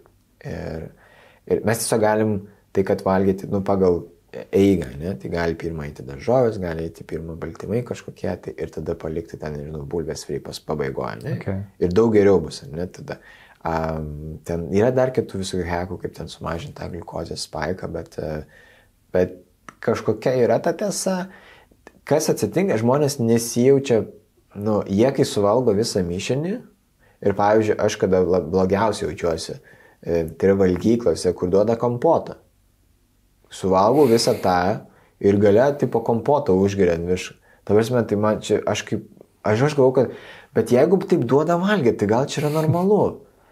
Ir aš pasupratau, kad čia nifiga nėra normalu, nes aš tiesiog viską užpilu, kas ten yra, mano skrandžio sultis prasiskėdžia ir ten, nu, tipo, nieko nesigauna. Jeigu sausą maistą valgo, aš galiu truputėlį vandens ar kažko pagerti ten, kad būtų jis netoks sausas, bet, bet visa kita man nereikia ten išplauti savo skrandžio sulčių mm. tuo vandeniu ar kažkuo, nes tai tik apsunkina virškinimą. Tai tiesiog dar ilgiau įsivirškins ir dėl to žmogus tada jaučiasi išsipūtęs ten, jie, o čia kaip, oi kaip sunku, bet tai e, būtų negeras to e, realiai kompoto pabaigoje, aš šimtų procentų garantuoju, jis būtų geriau pasijūtis. Jis po kokios valandos būtų išgeręs ten to vandens ir ten kažko tai ir būtų viskas gerai. Mm. Buvo. Bet, nu, yra tokie keisti, žinai, kur aš, pavyzdžiui, negeriu, kai valgau. Tiesiog. Nu, ir kai valgau sausainius su arbata, tada būna sunkiau, nes reikia vis tiek valgyti ir užsigerti su arbata, nes kitaip negaliu. Taip išmokęs. Ja. Ok. Uh, tada dėl fizinio aktyvumo. Ar yra kažkoks, nu, nežinau, kažkokia, kažkoks normatyvas, norma, kiek to judėjimo? Nu. E, viskas labai priklauso nuo to, kokie būsenoje šiuo metu žmogus yra ir kokie jis yra būsenoje su sportu. Jeigu jis yra nesportuojantis žmogus visiškai, tai bet koks fizinis aktyvumas jam yra gerai. Mhm. Kai jis pradeda naudoti jau kažkokį fizinį aktyvumą, jis įgauna kažkokį galbūt įprotį truputėlį, jis tada jį gali didinti. Jis dar po to didins, dar didins, dar didins, dar didins. Nes kai pasakom, nu, nes kai žmogus išgirsta rekomendacijas, kokios yra pateikiamas ten pasaulinė sveikato organizacija, dar kažkai, kur tai yra nuo 150 minučių iki 300 minučių per savaitę, tai čia jam atrodo, kaip, kur, Mm. Ką? Aš, nu, ne, į, į, tai, tai tas yra sunku, bet jeigu mes žiūrime tai kaip ilgalaikį projektą, tiesiog tai yra ilgalaikis mano gyvenimo projektas. Tai nėra trumpalaikis, kur aš numesiu svorio ar ten užsiauginsiu kažką sixpacką. Tai yra ilgalaikis projektas, kurio pasakoje aš uh, jausiuosi geriau, būsiu sveikesnis. Tada aš pradedu nuo bet ko nuo bet kokio judėjimo. Ėjimas pasivaikščioti kartą per dieną, fine, puiku, labai gerai. Greitesnis ėjimas pasivaikščioti po to atsiranda. Tada gal atsiranda bėgimas, jeigu žmogus į tą linkęs. Jeigu ne, galbūt jisai dar daro mankštą, tą, pavyzdžiui, vieną kartą per dieną tada eina pasivaikščioti kažkuria, nu, kitų dienos e, metu. Ir jis tiesiog didina iki tol, kol jisai gali pasiekti visą tą, nes mes turime įdėti, mes esame dabar realiai ofiso kaliniai, sėdim belenkiek laiko ir net ir tas laikas, kurį mes skiriam judėjimui, jis neišgelbėja mūsų mm. iš dalies. Jis tik tai bando pristabdyti tą e, mūsų nykimą, bet kas atsitinka, kad žmogus nejaučia to nykimo. Nu jo, tas, kas sako, ai, man nugaras skauda. Nu jo, paskauda. Tai kažkas pripranta, aš ten, nežinau, 15 metų man nugaras skauda ir, ir ką man dabar daryti, ta prasme, nu, ją skauda man. Ir kartais mažiau, kartais daugiau, bet aš prie tos skausmo esu pripratęs ir aš dėl to galiu nieko nedaryti. O kitą dieną padarysiu kažkokią pratimą, žiūrėk, nebeskaudamus. Ačiū. Mm. Nu, pabūsiu. Daugiau nebereikia daryti, ne, ne, nebeskauda. Tai yra, kai žiūrime trumpalaikį labai rezultatą, tai jisai yra labai ne, ne, netvarus. Mm. Bet jeigu žiūrėsim tiesiog, kad, žiūrėk, aš noriu įsigyti įprotį.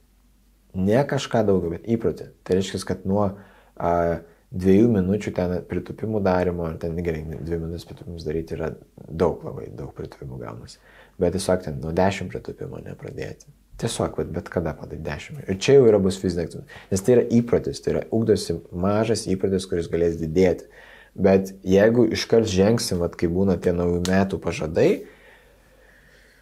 užsirašau į sporto klubą ir penkis kartus per savaitę eisiu sportuoti. Po valandą.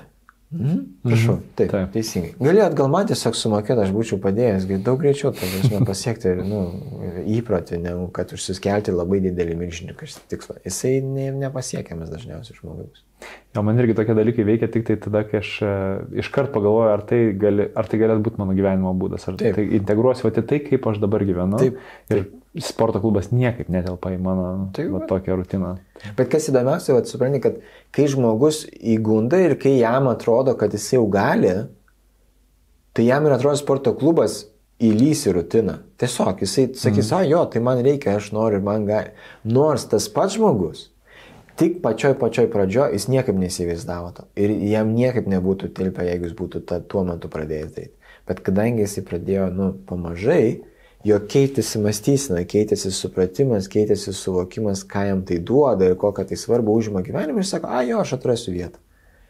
Tai nereiškia, kad jis turi atrasti, ne, jis Mhm. gali tiesiog kitaip, kitais būdais tą padaryti, bet, bet tiesiog pasikeičia ir mąstymas, ir matymas, kad dabar aš matau, kad tai galėtų būti kiekvieną dieną mano darbo atvarkį.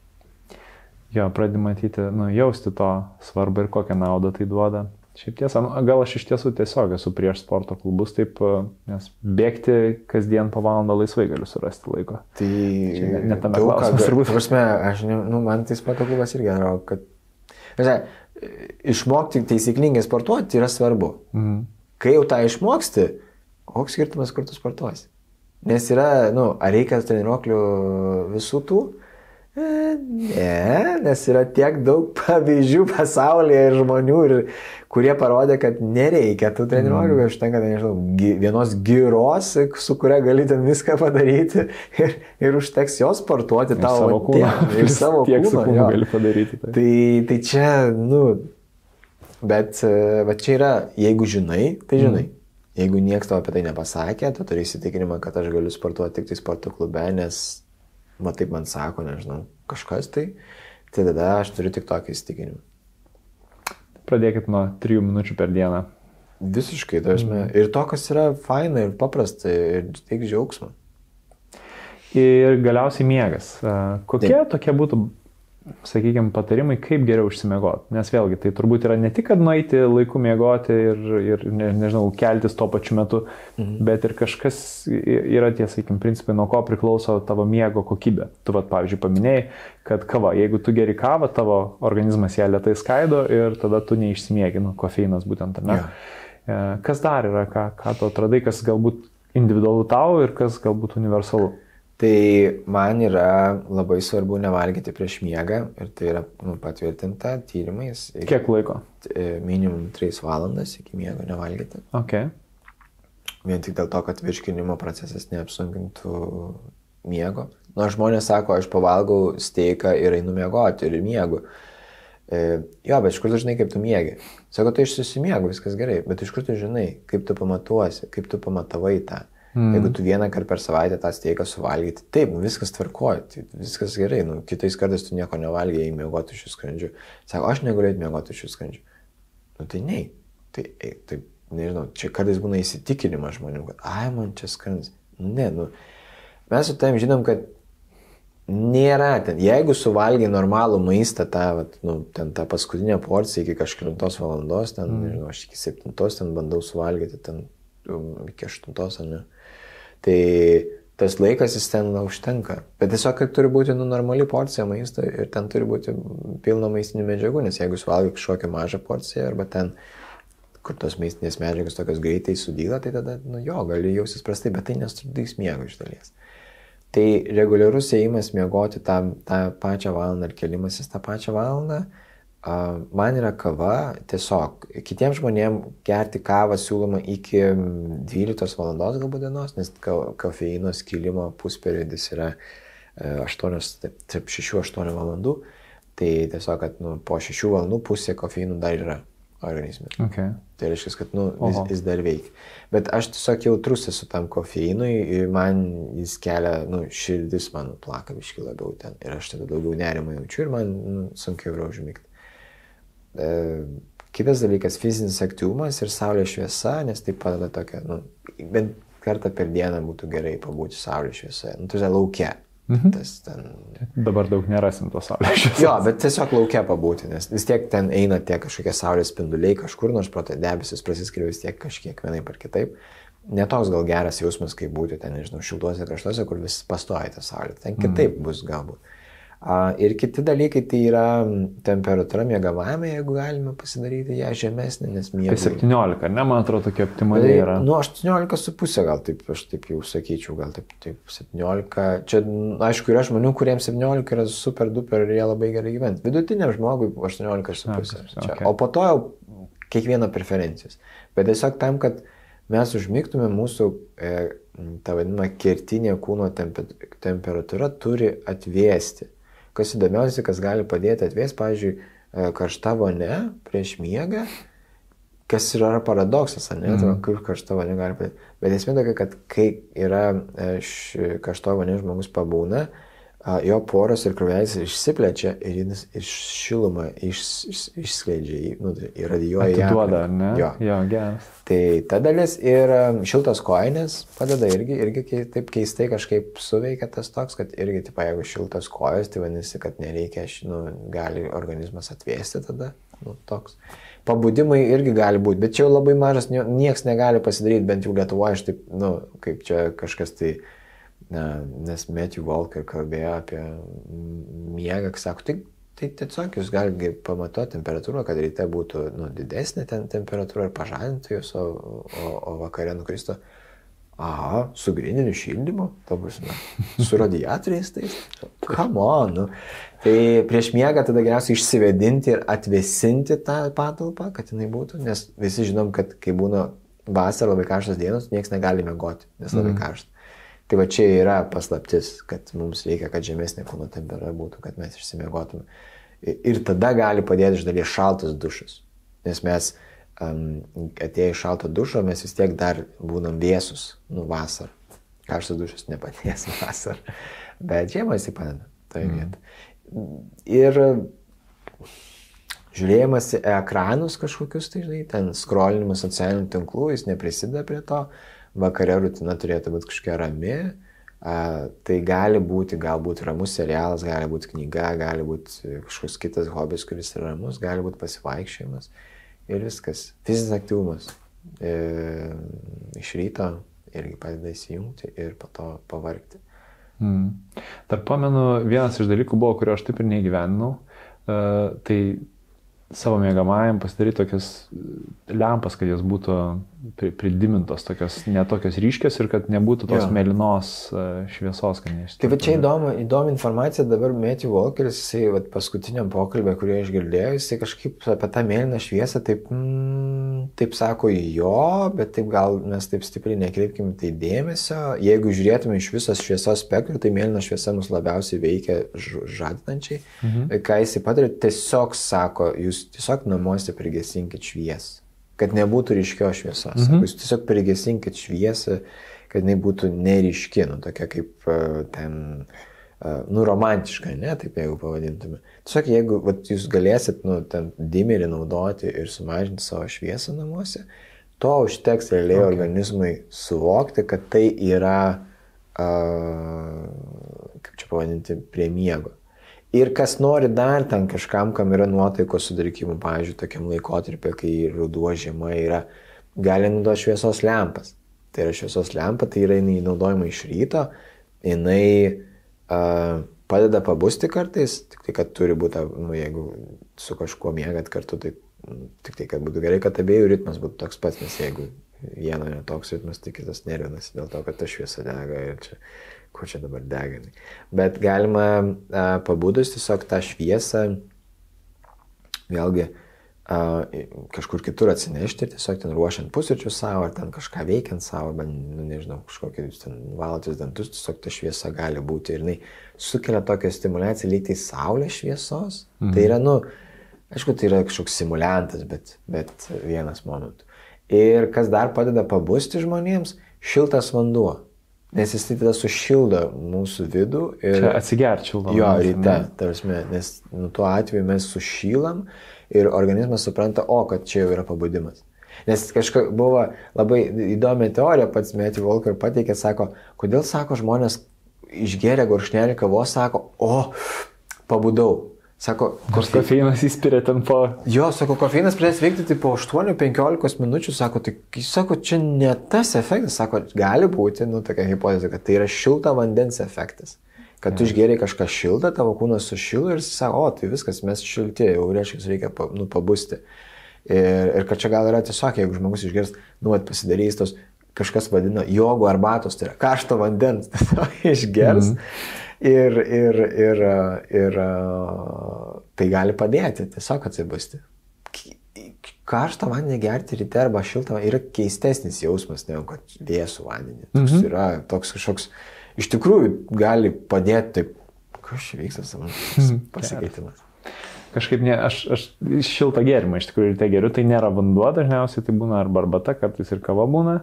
Ryte, jo, bet man kažkaip vat, su vandeniu buvo toks, ypatingai jeigu aš bėgu ryte, iš karto atsikėlęs, tada kažkaip šalto išgeriu, bet niekada nepabandžiau šilto vandens. Nu, bet tu pabundi bėgdama, žinai, tai čia jau yra mm. tas, kad tu išbėgi į lauką ir nesvarbu, kad tuo metu tamsu dar yra, kai tu bėgi, bet tai yra vis tiek signalas, kad, žiūrėk, mes jau kylam, tai yra tas, nu, tas vadinamas cirkadinio ritmo perjungimas, kad, žiūrėk, va dabar rytas jau.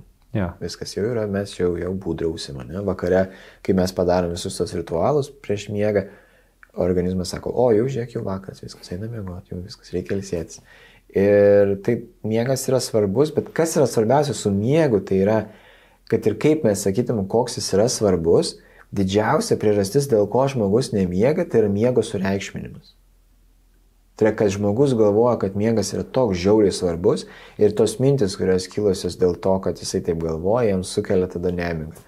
Nes jis sako, aš neišsimiegosiu, va ir vėl neišsimiegosiu, blema, negalėjau užmigti ir čia dabar neišsimiegosiu ir dėl tų minčių jisai neišsimiega, kitą dieną sako, va, aš sakiau, kad neišsimiegosiu. Ir toks miego sureikšminis yra nu, didžiausias, va, tas, nežinau, peilis tam mm. pačiam miegui.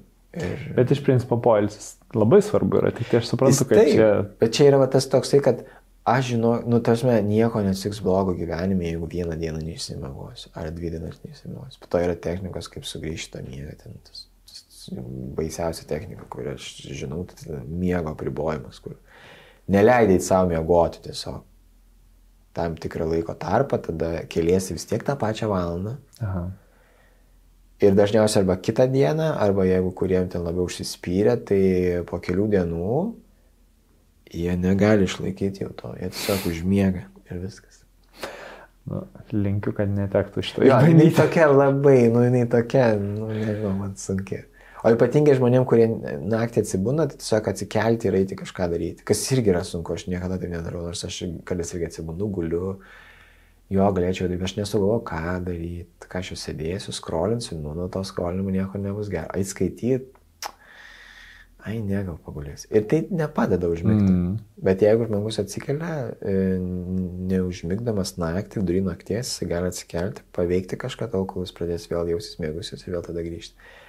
Tas laikas, jisai netims iš mūsų gyvenimo ten tiek daug, bet jisai padės e, nesureikšminti to miego ir vėlgi žiūrėti ilgalaikę perspektyvą. Ne tai, kad aš rytoj būsiu pavargęs, jie, tu neveiksiu visiškai, mano galva neveiks. Jo, bet jeigu tu sureikšminsi, tu gali ir rytoj, ir poryt, ir mm. užporyt, ir taip dar, dar metai, ir daug, daug metų į priekį, kol kažkas tavęs nepaprotins. Tai, o jeigu aš tiesiog sakau, nu tai jo, tai neišsimiegosiu, neišsimiegosiu, nu ką padarysiu, viskas tvarkoja, kitą dieną išsimiegosiu. Ir tai yra toks, nu, sumažinimas tos reikšmės ir kai sumažinu, aš tada nebe taip apie tai galvoju. Bet vis tiek aš laikausi higieną, žinai, tos miego ir vis tiek einu miegoti laikus, mm. stengiuosi ten tą daryti. Bet jei nesigauna, nesigauna. Į perspektyvą reikia žiūrėti. Ir neskaitykit Matthew Walkerio knygos, nes neužmygsit po to.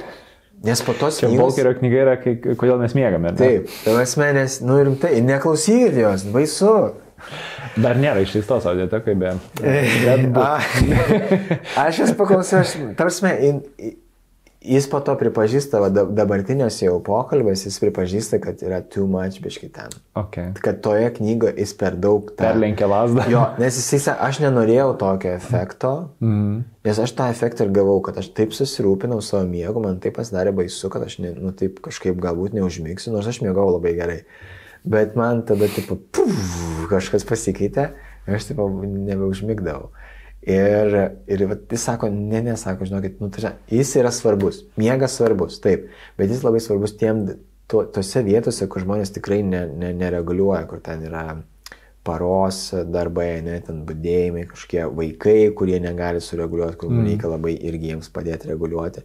A, svarbus yra darboholikam, kurie sako, aš miegosiu keturias valandas ir galėsiu būti sveikas. Tai va ten jiem tai yra svarbu, kad sureikšminti, kad sakyt, žiūrėk, bet tau keturių neužtenka, tau bent minimum šešių reikia, o geriausiai būtų septynių su pusė kažkur tai.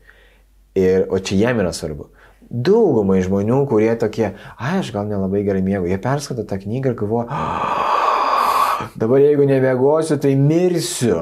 Nu, nes ten taip yra toje knygoje, biški tokių, nu, pasakym, kad, nu, kind of, tipo, trečias dalykas po, nu, tu žinai, trečias svarbiausias dalykas gyvenime - vanduo, maistas, miegas. Uuu. Ir tada atsiranda tas sureikšmės išsigandimas. Tai, mm. tai tos vietos reikia vengti ir iš tikrųjų dauguma gydimo metodų paremtų yra to, kad nesureikšminti to miego. Ir kai žmonės nesureikšmina, savo sako, tu jo viskas gerai, aš įsimiegosiu kitą dieną dar iš. Jis tik dinksta ta nemiga, kažkokia tai miego trūkuma, viskas ten susitvarko, bet reikia nesureikšminti per daug. Okay. Okay.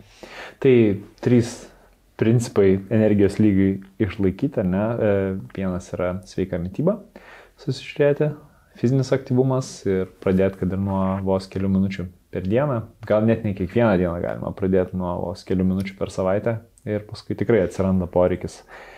Nu ir polisis. Miegas, nors tai nesureikšminant per daug viso to. Ne, nu, tai svarbus yra, svarbus yra kokybiškas miegas. Mhm. Uh, čia yra tas toks, nu, vat, kaip padaryti, kad nebūtų, nu, Mes sakom svarbu, bet ir nesureikšmim. Mhm. Nesąmonė, ne, skamba nesąmonė. Bet aš galvoju, tai suvokiu, kur yra skirtumas. Ja. Aš tik ne vis laik moku tą paaiškinti žmonėms, kaip, pat, kaip, kaip, kad tai yra svarbu, bet kad to nereikia sureikšminti va šiandien. Sme, jeigu ilgalaikį perspektyvą žiūrim, tai yra labai svarbu. Mhm. Bet šiandien aš galiu neišsimagoti, šiandien galiu padirbėti ilgiau, viskas tvarkoja, per kitas dienas aš grįžęs į savo ritmą, aš vėl grįšiu į savo energijos lygį. Aš kažkaip stengiuosi to paties vat, principo nesureikšminimo, apie ką tu kalbi, nu, kiek įmanoma visose srityse tą turėti. Tai, tai. Vėlgi lygiai taip pat su to pačiu protarpiniu, tarkim, badavimu, nu, kartais nutinka taip, taip, kad aš valgau ten vakare, kad aš anksti. Ir būna taip, kad būna diena, atsikeliu, ne, šiandien aš noriu pavalgyti pusryčius. Okay. Arba važiuoju atostogauti, kai atostogauju, aš visada valgau pusryčius ir po to grįžtu lygiai taip pat lengvai prie savo tos įprastos rutinos ir niekas dėl to neatsitinka. Jo, bet žinok, man taip su meditacija yra. Tarsi, aš, nu, aš būna ten vieną, dvi dienas kartais ne, nepamedituoju, nes ten tiesiog ryte reikia kažkur išvykti, nes aš ryte, pas mane ryte yra asociacija, kad medituoju aš. Ir aš negaliu to padaryti bet aš po to kitą, kitą kažkurį rytą, man ant tiek natūraliai toks, mhm. tiesiog aš atsisėdu ir man viskas yra, aš ten žinau, kad man reikia anksčiau atvažiuoti į, į darbą tam, kad galėčiau pamedituoti. Ir tai yra va, toks, toks, kai ne, nesureikšmin, bet žinai, kad tai yra svarbu ir kad tai darysi visą gyvenimą, tai tada yra svarbu daugiau, kad tai būtų pastovumas kažkokio tai veiksmo, mhm. O ne ten tie maži nukrypimai, kurie įvyksta. Jie įvyks, bet jeigu žiūrėti per gyvenimą, ne, nu, tai kai jeigu tu labai, kai būna tas kreivės, ne, kai tu priartini kreivę, matai, kad ten, ta, ta, ta, ta, ta, ta, ta, ta, bet kai tu tolini kreivę, žiūri, kad ten, toks, žinai, nu, kreiviai pastoji kylanti, žinai, bet kai tu vietą žiūri, žiūri, kad, o, ten nukrito, ten kažkas aukščiau pakilo, ten, ir tipo, o jo, bet jeigu sureikšmės visą dalyką, tai tada nebus tos kreivės kilimo, tai nu, tas pastumas svarbus, bet jis sunkiai gyvenima žmonėms, tą reikia labai sąmoningai kažkur, tai kad kažkas primintų pats, pačiam savo smegenys automatiškai nesuvokia ateities. Jos neįsivaizduoja ateities. Tarsi, smegenyse nėra ateities visiškai. Jos negali apskaičiuoti ten, pažiūrėjau, ateities rezultatą. Taip. Jos, nu, joms nėra automatiškai to. Jeigu mes nedėgiam to pastoviai, dėl to visi įpročių kūrimai pradedami nuo labai mažų dalių, kad tiesiog jaustų malonumą. Mhm.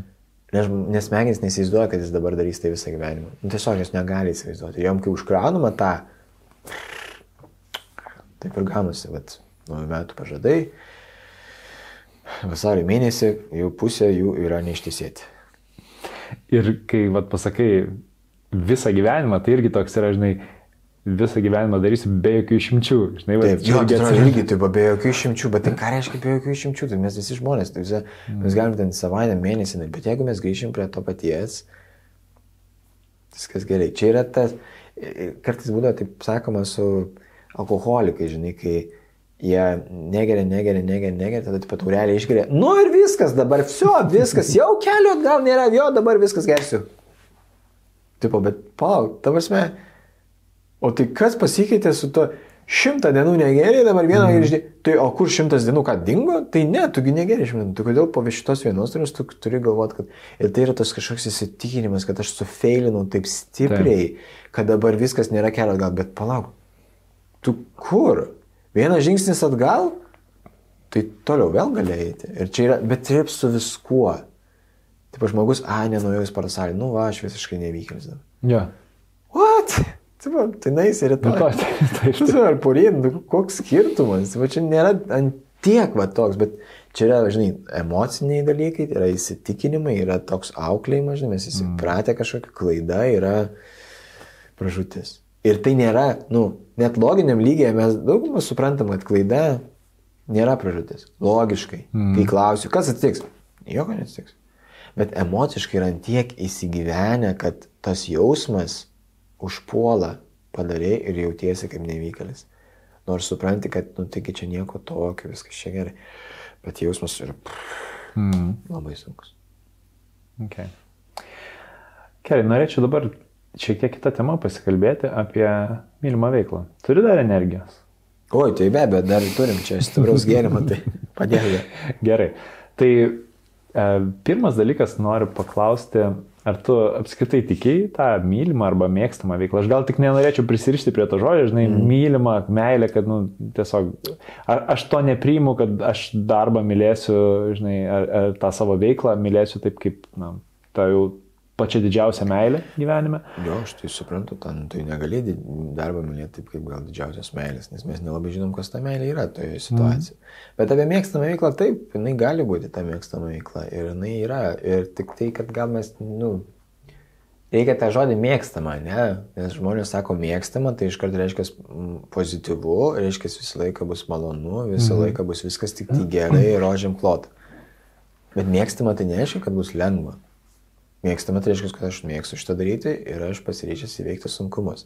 Ir čia būna kabliukas, kad jeigu atsiranda sunkumų mėgstama veikla, žmonės, a, ne, čia gal, aš, čia gal ne mano mėg, gal čia ne man. Mm -hmm. Taip, bet iš kur tu žinai, kad ne tau.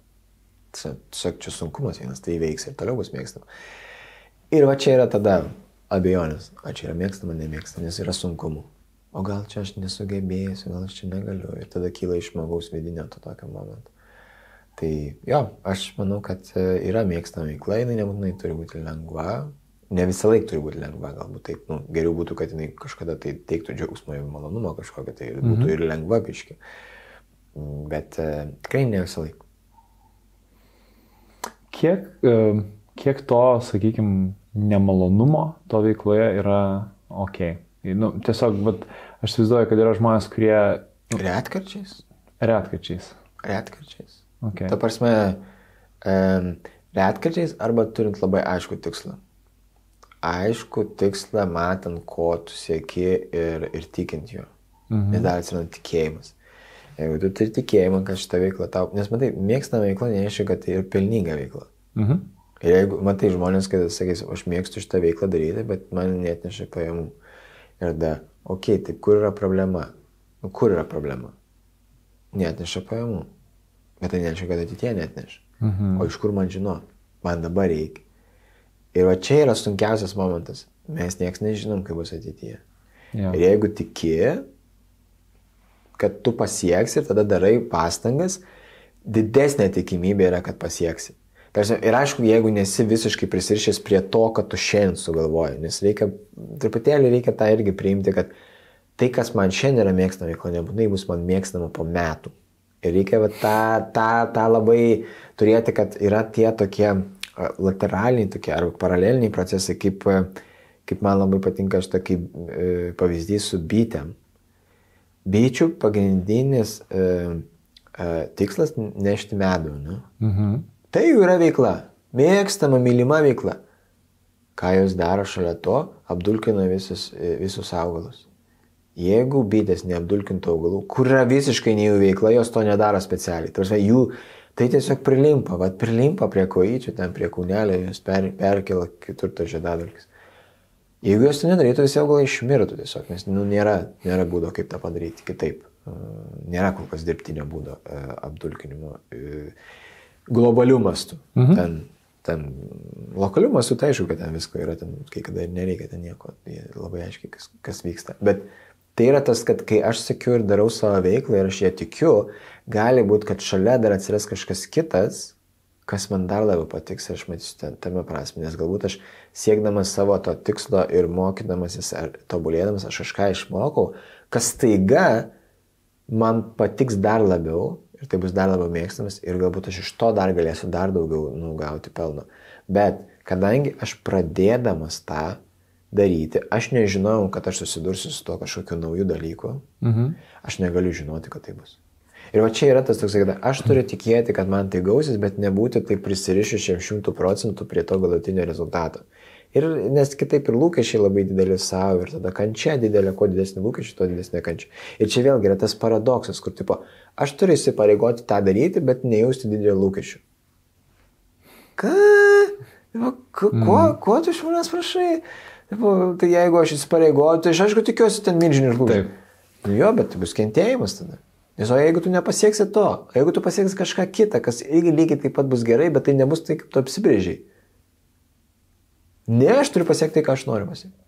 Ir va čia yra tas toksai, nu jau yra toks, um, kaip čia toks, nestabilumas, ne, toks labai, labai, uh, koks ten tas žodis būna, kai nelankstus žmogus būna, ne, toks, ne, nelankstumas galbūt, mm -hmm. ne, kur, kur, kur negaliu pakeisti kažko, nes kas ten žino, gal, nu, gal aš šiandien, nu, man patinka viena veikla ir man po kažkiek tai laiko patiks kita veikla.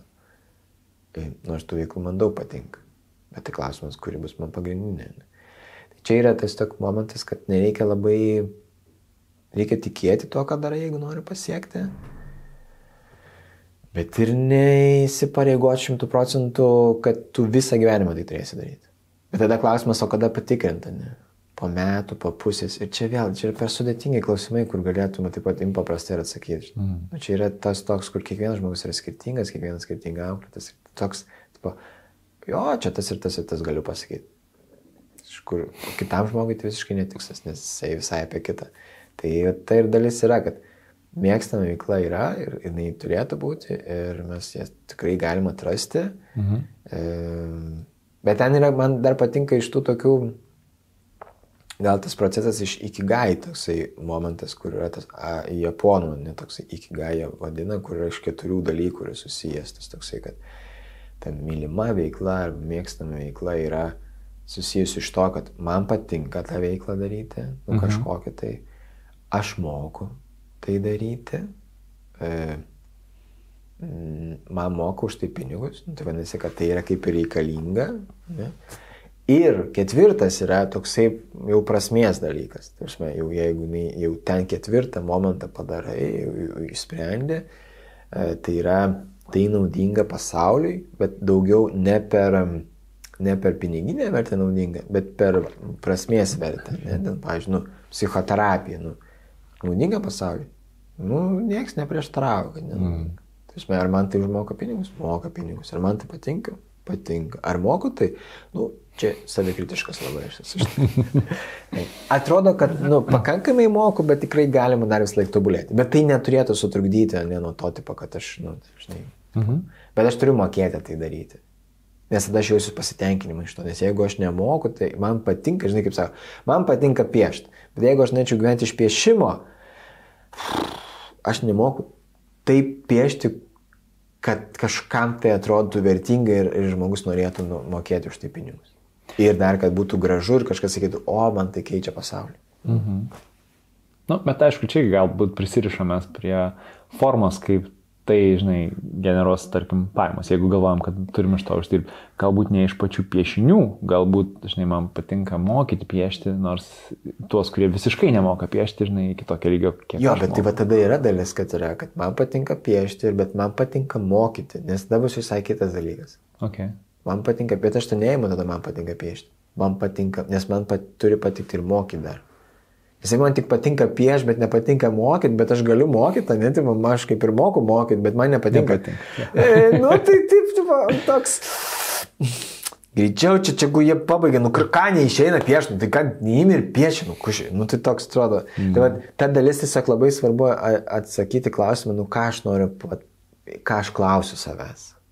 Nes tikrai tie, tie keturi dalykai, tie keturi klausimai, jie sujungia tą tokį prasmingą momentą. Mhm. Ten negali pridėti daugiau, žinai, jeigu tu moka pinigus, tu moki padaryti tą, tau patinka ir dar tai yra kažkokia reikšminga pasaulio dalis, nu, nesvarbu ar lokaliu, ar globaliu, ar kažkokiu tai lygmeniu, ko ten daugiau prašyti iš savęs. Mhm. Tada tai yra geriausia veikla, kokią tik tai gali veikti. Tai, ką aš veikiu gyvenime, uh dabar, žinai, nu, aš savais būdais, sakykime, padedu žmonėms nu, išgyventi tam tikras transformacijas, žinai, ir man tai yra, kas labai patinka, žinai, faina veikla. Taip. E, bet aš, pavyzdžiui, savęs neįsivaizduoju, nu, yra daugybė veiklų, kur aš žiūriu ir galvoju, dieve, jeigu man tai reikėtų daryti kiekvieną dieną, štai, nu, nežinau, kad ir elementariausiai kavinėje, tarkim, yra baristos ar ne, yra santechnikai, yra galbūt valytojai, yra ir mokytojai, nu, tai yra tie darbai, kurių, nu, aš savęs neįsivaizduoju. Ir man dažnai atrodo, kad tai tiesiog yra tie sunkus darbai, kuriuos, nu, turi daryti tie, kas neatrado, žinai, tos paslapties, kad galima daryti tai, kas tau patinka. Tai man toks klausimas, žinai, ar, nu, gal netgi du klausimai. Vienas dalykas yra, ar normalu, kad galbūt kai kuriems žmonėms yra nelemta nu, dirbti tai, kas jiems patinka, nu, mėgstama veikla. Tai yra, jie mhm. turi daryti tiesiog nemėgstamus darbus. Mhm. Um, ir, ir kitas dalykas yra, ar iš tikrųjų tiesiog yra, mm, kaip čia pasakyti, kad taip, kad skirtingi žmonės nu, mėgsta skirtingus dalykus, kad realiai yra vat, žmonių, kuriem nu faina būti baristam, faina mhm. kažkam ten, žinai, santechnikų būti, nu, kurie kaifuoja. Taip, taip. Bet taip ir yra. Bet aš tik nesakyčiau, kad tai yra lemta. Ne, ne, tai nėra kažkoks lemtis, yra pasirinkimas. Mhm.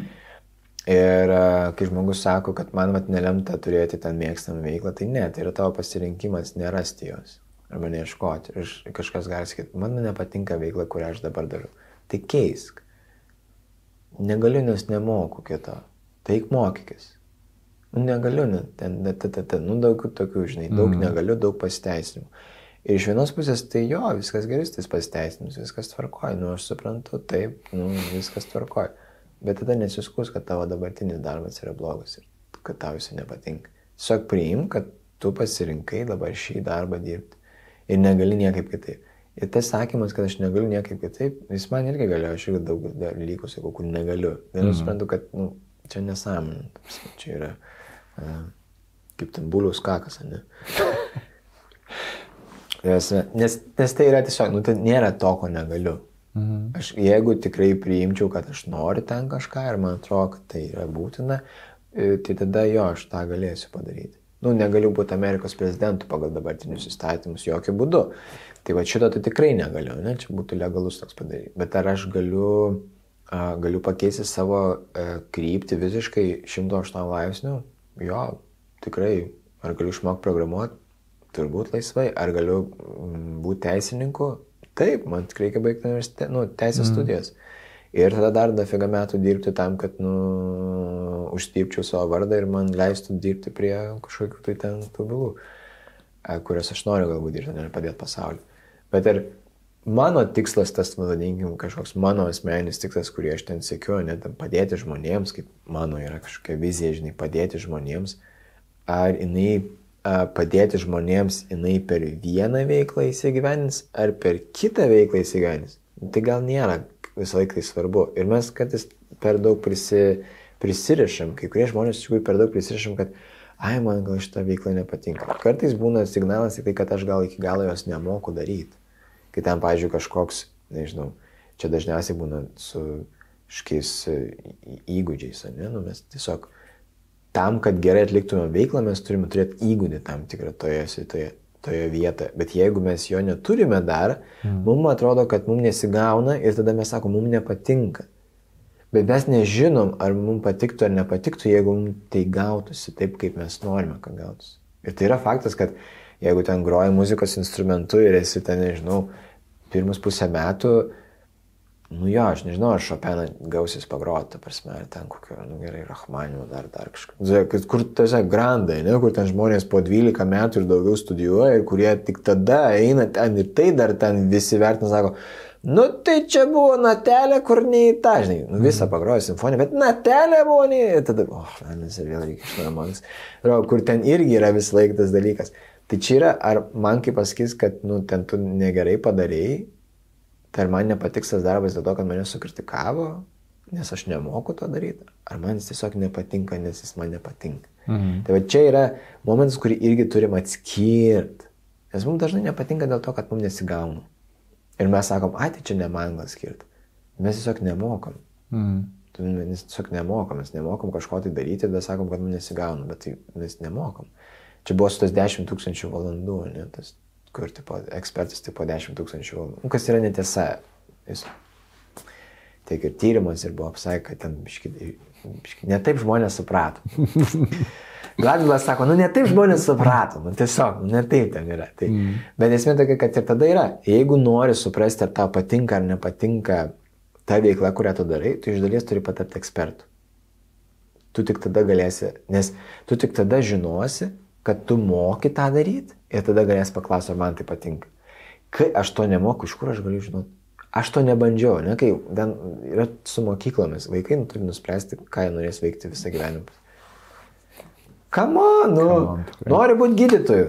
Aš net nežinau, kaip tas, ką tas gydytojas. Aš kažką girdėjau, kas yra gydytojas, nu jo, tai aš norėjau padėti žmonėms. Tai man dėl to pirmoji asociacija buvo su gydytoju, nes čia yra medicina, čia dar mane pastumė ten kažkas į tą mediciną, ten atsirado burelis kažkoks, tai draugas sako, davai einam burelį, ai, tai burelį einam, tai davai gal tada renkamės tokį profilį mokykloje.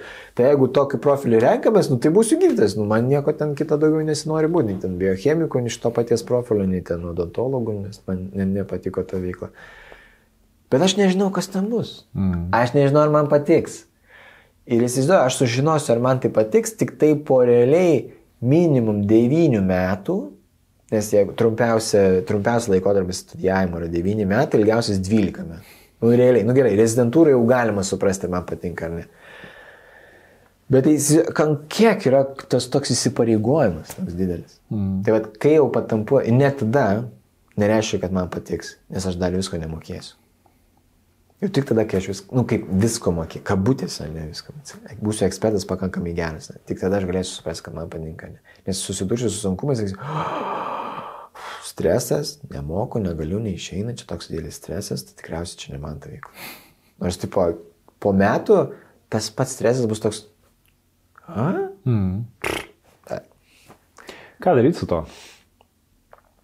Nekelt savo lūkesčių didelių. Tarsi žmonės, kurie nori keisti savo uh, kažką, tai jie tiesiog pradžioje turėtų pabandyti, kaip pačioje pradžioje, žinai, sakyti, tiesiog pirmą padaryti, nesigaus, tada viskas tvarkoja. Ir ką žmonės dažniausiai paminė, gaila laiko. Gaila laiko. Išmėsim laiko. Jo, išmeti laiko, tipo, tikrindamis, ką tu norėsi veikti visą gyvenimą. A, kaip čia tu dabar, gal tavo, žinai, gal čia nėra teisingas požiūris, kad tavo gaila laiko. Tai, jeigu norėsit, nori tikrai rasti dalyką, kas tau patinka, tada tu tikrinėsi. Mm. Bet faktas, kad e, teoriškai skamba daug geriau negu praktiškai. Mes praktiškai turime įsipareigojimus, turime svarbesnius įsipareigojimus negu mūsų kartais norai ir taip toliau, kartais mūsų įsitikinimai apie save, pasaulį, kitus žmonės yra kitokie negu kad, e, negu kad tuo metu galimybės esančios. Ir mes tą turim tiesiog priimti tą e, sprendimą, kad dirbsim dabar darbą, kuris galbūt mums nepatinka, bet dėl to nesikankinsim. Nes yra esmė tokia aš galiu dirbti darbą, kuris man galbūt ir nepatinka, bet jis man nepatinks e, du kartus daugiau, jeigu aš dėl to kentėsiu ir kiekvieną dieną sakysiu savo, nu koks blogas darbas, kaip. Ne, ne, aš jį dirbu tik dėl to, nes aš šiuo metu turiu tam tikrus įsipareigojimus, kurių negaliu aš apleisti, bandydamas ieškoti savęs ir taip toliau. Ir aš tai turiu suvokti viduje, kad tai aš irgi renkuosi. Mhm. Kitų atveju tai aš būsiu tiesiog tas, nežinau, aukos režime, žinai, kur visi su manimi elgesi blogai, aš neturiu jokio pasirinkimo. Nieko aš negaliu padaryti, aš nieko nekontroliuoju. Ir jeigu aš neturiu bent menkiausios kontrolės savo gyvenimą, tai tada kelias į depresiją realiai eina, nes tai aš neturiu pasirinkimo. Vadinasi, aš nieko negaliu gyvenime, prasmės nėra. Nu ir tada, kai kas tikrai krenta į depresiją, mm. tai atveju. E, vienas iš tokių nuogastavimų, kurį aš išgirstu, kalbėdamas būtent apie mėgstamą veiklą, tai žmonės daro tai, ne, ko nemėgsta, ne, va, jie gyvena toj būsenoje, apie kurią tu kalbėjai, bet jie net neįsivaizduoja, o ką daryti, nu, va, kas tas galėtų būti kitas dalykas, ir žinai, dar tu išryškinai, kad gali užtrukti laiko, kol ta veikla, kuri iš tikrųjų tau patiks, tu pajausi, kad jinai tau patinka. Taip, taip. taip. Ar yra kokie nors šortkutai, kaip pasimatuoti? Nu kažką, galbūt, žinai, ten vizualizacijos pagalba, ar, nu, vat, kaip, kaip. Bet, bet vėlgi, o? Mes visi, kai sakom, tipo, kad man patiktų tą ir tą daryti. Tai iš kur mes galvom, kad tą ir tą patiktų daryti? Nes mes jau turime kažkokį vaizdinį savo galvoje, kad mums tas dalykas, bet mes nežinome, ar mes turėsime pakankamai įgūdžių, ar ten kognityvinių sugebėjimų kažkokių, tai uh, tam, kad galėtumėm tą padaryti. Nu, mes nežinom to. Mm. Mes turime tą pabandyti tik daryti. Ir, ir aišku, kai tai susijęs su iš dalies, tai, nu ir tai, bet tas, ta dalis kol kas yra tokia, kai tai susijęs su e, ilgais, ilgais metais mokslo, didelis įsipareigojimas ir tada žmonės nekeičia. Mhm. Jie tada dirba savo darbą, kad ir gydytojai. Yra gydytojai, kurie nemėgsta savo darbą. Kurie yra pavargę. Ir ne dėl to, kad jie nemėgtų savo darbo kaip gydytojų. Jie nemėgsta, nu, ir jiem nepatinka ir jie kenčia dėl to, kas vyksta aplinkui. Kas vyksta su medicina, kas vyksta su pacientais, kas vyksta su biurokratija, su finansu. Jiem tas, nu, jie negali dirbti savo darbą tiesiog. Jie turi daryti kažkokius darbus, kurie apsaugotų juos nuo klaidų ar nuo dar mm. kažko, e, nuo įsivaizduojamų klaidų kažkieno. Tai kad tiesiog, kad jie jaustų saugesni. Ir tai yra, jei tada netrodo, aš negaliu mesti, nes aš, kas, aš jau tiek metų Taip, prasimokiau. Kiek investavau. Ir Mm. tipo, aš tiek, nu, ar ne, kai man bus gaila ir taip toliau. Bet esmė tokia, kad visa tai, kad tu investavai ten, tai jis niekur nedings. Mhm. Visi tie įgūdžiai, tu tiesiog kažkur juos kitur gal persi. Aišku, kai tu pasakai, jie keis specialybę, tai sakysi, ką aš keisiu tą specialybę. Ką aš dabar, ką aš nieko kito nemoku. Ir tada vėl atsiranda tas toksai, a, nes aš nežinau, ką daryti. Nežinau, į ką norėčiau keisti. Kartais tai padeda, nu, toks, gal prisiminti truputėlį ir savo tas svajonės vaikystės. Su kuo aš norėjau būti, ne, kuo aš fantazavau, apie ką aš kalbėdavau daug ir apie kas buvo užstrigę labai stipriai. Pirmą nuo tų pabandyti. Mhm. Nu ir tai nebus kosmonautas. Ten, nu, nė- nėra ten, kad visi ten kosmonautas norėjo būti ir ten astronautas. Tačiau tai nėra ta dalis. Yra labai pa- paprastesni dalykai. Dažniausiai tai bus susijęs su galbūt tėvų kažkokiam specialybėm, nes mes matėm gal senelių, dar kažko, a, am, gerų draugų, tėvų. Tiesiog mes kažką tai, man kažkas va ten noris. Ir darom. Arba, pavyzdžiui, verslas, ne? Būti verslininku. Bet būti verslininku yra labai daug, nu, daug labai vietų, kur tu gali būti verslininku. Mm. Ir tada, tai kaip man žinot, kur aš noriu būti. Tai tada ir žiūri, o kas man patinka gyvenime, ne? Jeigu aš noriu būti verslininku, tai čia tau geriau žinoti, nes tu, tu verslininkas, aš tai toks, žinai, amatininkas. Tik. E, kad, e, nes jeigu manęs nebus, tai nebus ir, ir, mm. ir, ir, ir, ir nieko nebus, žinai, bet jeigu tavęs nebus, tai verslas vis tiek toliau vystys. Tai tuo mes, žinai, skiriamės. Tai kuo, kas man yra svarbu gyvenime, ne, jeigu noriu būti verslininku, bet jeigu aš nenoriu būti verslininku, tai irgi, kas man yra svarbu gyvenime, prie kokios vat, misijos aš norėčiau prisidėti. Va čia yra kartais e, galima imti iš to iki gaitos keturis ir da, aš nežinau, ką aš norėčiau daryti, bet jeigu žmogus yra, pavyzdžiui, daugiau kažkiek tikintis, ar šiaip jisai, nu, sako, vat, man reikia misijos, ar ne, tai kokia mm -hmm. mano misija? Ir tada žmogus gali pažiūrėti, kokia jo misija yra, ats- atsakyti savo to klausimą paieškojęs, tada sakyti, žiūrėk, yra tokios tokios veiklos, kurias iš jų aš galbūt e, mėgčiau daryti, ne? arba sugebėčiau išmokti daryti pradžioj ir už tai mokėti pinigus. Ne? Tai trys ties susiję ir tada pažiūrėti, jau kai išmoks, tada pažiūrėti, ar man tai patiks ar nepatiks. Galima ir per kitą, ne? per tą tokią, kur prasmės. Prasmė kartais labai daug ištempia. Yra tikrai labai daug žmonių, kurie dirba e, sunku ir, ir, ir tikrai varginantį ir stresą keliantį darbą, matydami tame didelę labai prasme. Mhm. Ir net atlyginimas jų yra, nėra toks aukštas, kad atpirktų tą ne- nerimą, stresą ir taip toliau, bet jie labai mato tame prasme. Tai prasmė kartais gali būti tas, bet reikia vėlgi ne per overthinking su tą prasme. Prasme, kas man yra prasmė, o ne kas visam pasauliu yra prasmė. Kas man yra prasmė. Mm. Jeigu man yra prasmė padėti žmonėm, ar aš galiu padėti žmonėm nebūdamas psichoterapeutu? O jo, šimtą būdų, tarsi, tūkstančiai būdų turbūt yra, kai aš galiu padėti žmonėm. Tai tiesiog, kad mano buvo suvokimas tuo metu, kai aš rinkausi mediciną, kad aš noriu padėti žmonėm ir man tuo metu atrodo, kad artimiausia tai yra medicina. Ir aš negalvoju apie psichologiją. Tiesiog kažkodėl, va, tuo metu negalvoju apie psichologiją. Bet bebūdamas medicinoje, aš sužinojau apie žmogaus protą, apie smegenis, apie psichinės ligas, apie tai, kas ten vyksta smegenys. Aš galvoju, šito noriu. Mhm. Ir kaip man dabar to pasiekti. Nes man tai įdomu, ne, aš tą domėčiausi, man tas įdomu. Nu ir po to, kai pradedi dirbti, tai supranti, kad kartais pritrūksta laiko domėtis, nes turi daug dirbti. Ir tada taip, o, bet tai jau nebe taip džiugina. Nu, tai, tai kažką galima keisti gyvenime. Nu, tiesiog sustoti, tai žinai. va, Nu, Pasidaryti mėnesio atostogas. Taip, mėnesį, biškai sustoti, pažiūrėti, aha, ką aš čia darau tokio, kad man, nu, ką aš galėčiau padaryti tokio, kad mane labiau džiugintų, aš mažiau pervargčiau ir, ir vis tiek likčiau laimingas ir nežinau, ar prasmė to pati išliktų. Mm. Okay. Um, jau kai apsisprendi, tarkim, kad nori tą daryti, yra tokie du dalykai, kurie man atrodo gan gali kliudyti ir tu apie juos esi kalbėjęs ir dažnai žmonės galvoja, kad tai vienas ir tas pats, tai uh, tas pasitikėjimas savim mm. ir savivertė.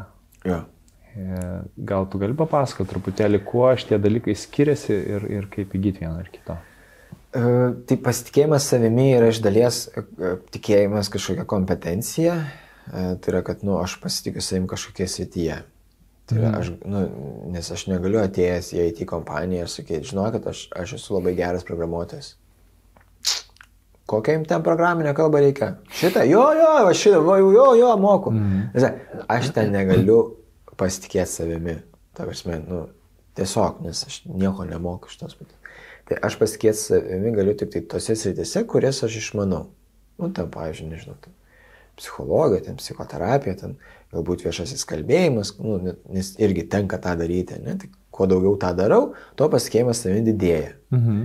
A, ten vėl kažkoks, nežinau, konsultavimas žmonių, vėl kažkoks už išorės, ne, ten kažkoks tai ne psichoterapinis, bet kažkoks kitoks. Kuo daugiau darau, tuo didesnis pasitikėjimas savimi. Tai yra su konkrečia kompetencija susijęs dalykas. Tai yra, kad aš, aš žinau, kad aš galiu tą padaryti. Ir tai yra pasitikėjimas savimi. Ir jo nereikėtų ieškoti vietose, kur aš nieko nemoku. Ta prasme, jeigu aš einu į naują darbą, kur yra man visiškai nauja specialybė, koks ten gali būti pasitikėjimas savimi? Ten gali būti tik tai tikėjimas, kad aš esu vertas būti toje situacijoje ir, ir tada dėl to tikėjimo, kad aš esu vertas ten būti, aš galiu sakyti, aš išmoksiu. Nu ir, aišku, nemeluojant, ir darbdavys turi žinoti, arba, arba aš turiu pats irgi suprasti, kad aš išmoksiu tą, mhm. nes noriu ir, ir, ir tikiu, kad esu vertas ten būti ir gauti ten tą atlyginimą arba kažkokį tai kitokį atlygį. E, ir tai jau yra savivertės klausimas. Tai yra savivertė labai paprastai išsi, nu, kaip ir išsiverčia, ne toks, kad tai yra mano vertė, tai yra apie mano vertę. Tai yra, kad aš jaučiuosi vertas būti čia. Ir dažnai žmonės sako, aš nesijaučiu vertas būti tokiuose santykiuose, tokiuose darbe, ten turėti tokius draugus, ten, nežinau, uždirbti tiek pinigų. Tiesiog dėl to, kad jie netiki ten tavo, nu, tas yra, nu, ir tada atrodo, tai būtų čia su pasitikėjimas, bet čia yra daugiau tas toks kertinis elementas. Jis mhm. yra glūdi dar giliau negu kad pasitikėjimas. Nes pasitikėjimas jis gali būti vienoj uh, srity bus, kitoj nebus, kad vienoj bus, kitoj nebus. O savivertės klausimas, jisai visas apima. Jis visas apima. Tai nereiškia, kad aš moku kažką daryti, bet aš tiesiog tikiu, kad aš galėsiu išmokti tai daryti. Ir aš jaučiu, kad aš nu, vertas netgi mokytis. Vertas keisti. Nes žmogus sako, ai, man neišeis. Tai tu objektyviai žinai, kad tau neišeis, ar tu tiesiog taip galvoji? Ir aš objektyviai žinau, aha, tavasme, kaip tu gali žinoti, kad nepabandęs, tipo jo, kur yra faktai. Mm.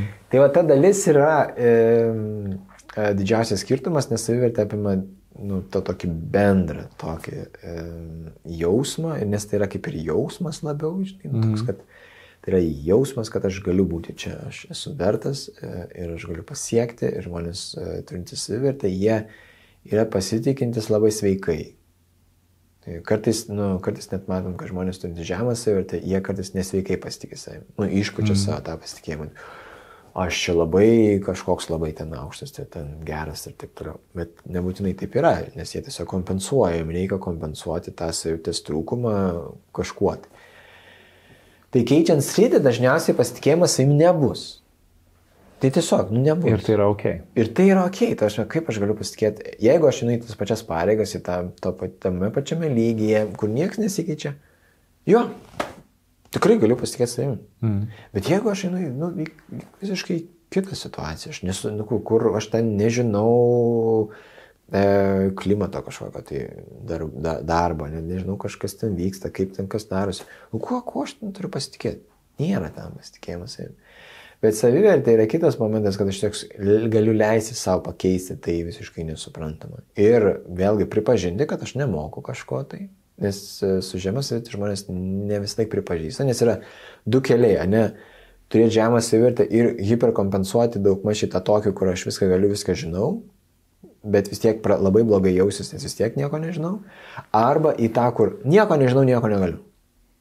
Mhm. Toks jau kur atviras, žinai, kur žmogaus klausia, kaip tu seks, ai, viskas blogai. Nu, čia pesimizmas, pesimizmas gal daug, bet jeigu jau, nu, jau ten klausi giliai, net kaip ten gyveni ir kaip, ai, čia čia va, gau darbo pasiūlymą, bet aš nežinau, čia turbūt aš netinkamas tam darbui, čia kažkaip. Gavo darbo pasiūlymą ir sako, aš gal netinkamas.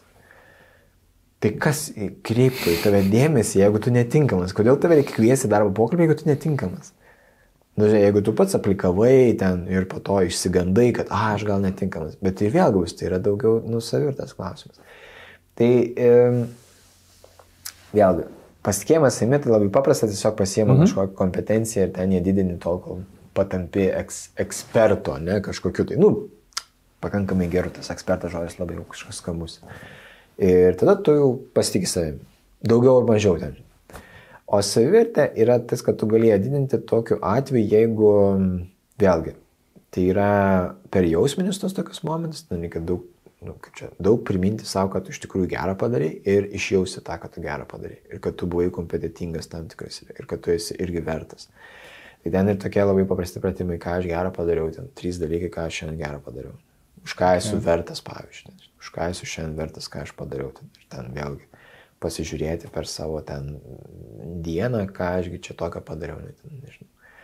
Vakar vedžiau mokymus, ten išsprendžiau kažkokią tai ten probleminę situaciją, kuri ten buvo. O, vėlgi ten, nežinau, nuvairavau ir parvairavau, žinai, ten po dvi valandas. Tipo nu, už tą galiu sakyti, kad tipo, visai ok su manimi. Nu jo, visai ok, nes galėčiau neparvairuoti. Nu, tiesiog mm būčiau ten, nežinau, pavargęs, ten būčiau kažkoks, dar, dar kažkoks pravežiu mokymus, jo, čia didelis. Nes dar tuose mokymuose vyksta visokių ten nesąmonių, tada jos irgi reiks tvarkyti. Tada, bet, nu, man tai atrodo, jo, aš esu to, nu, žinai, aš esu vertas ten.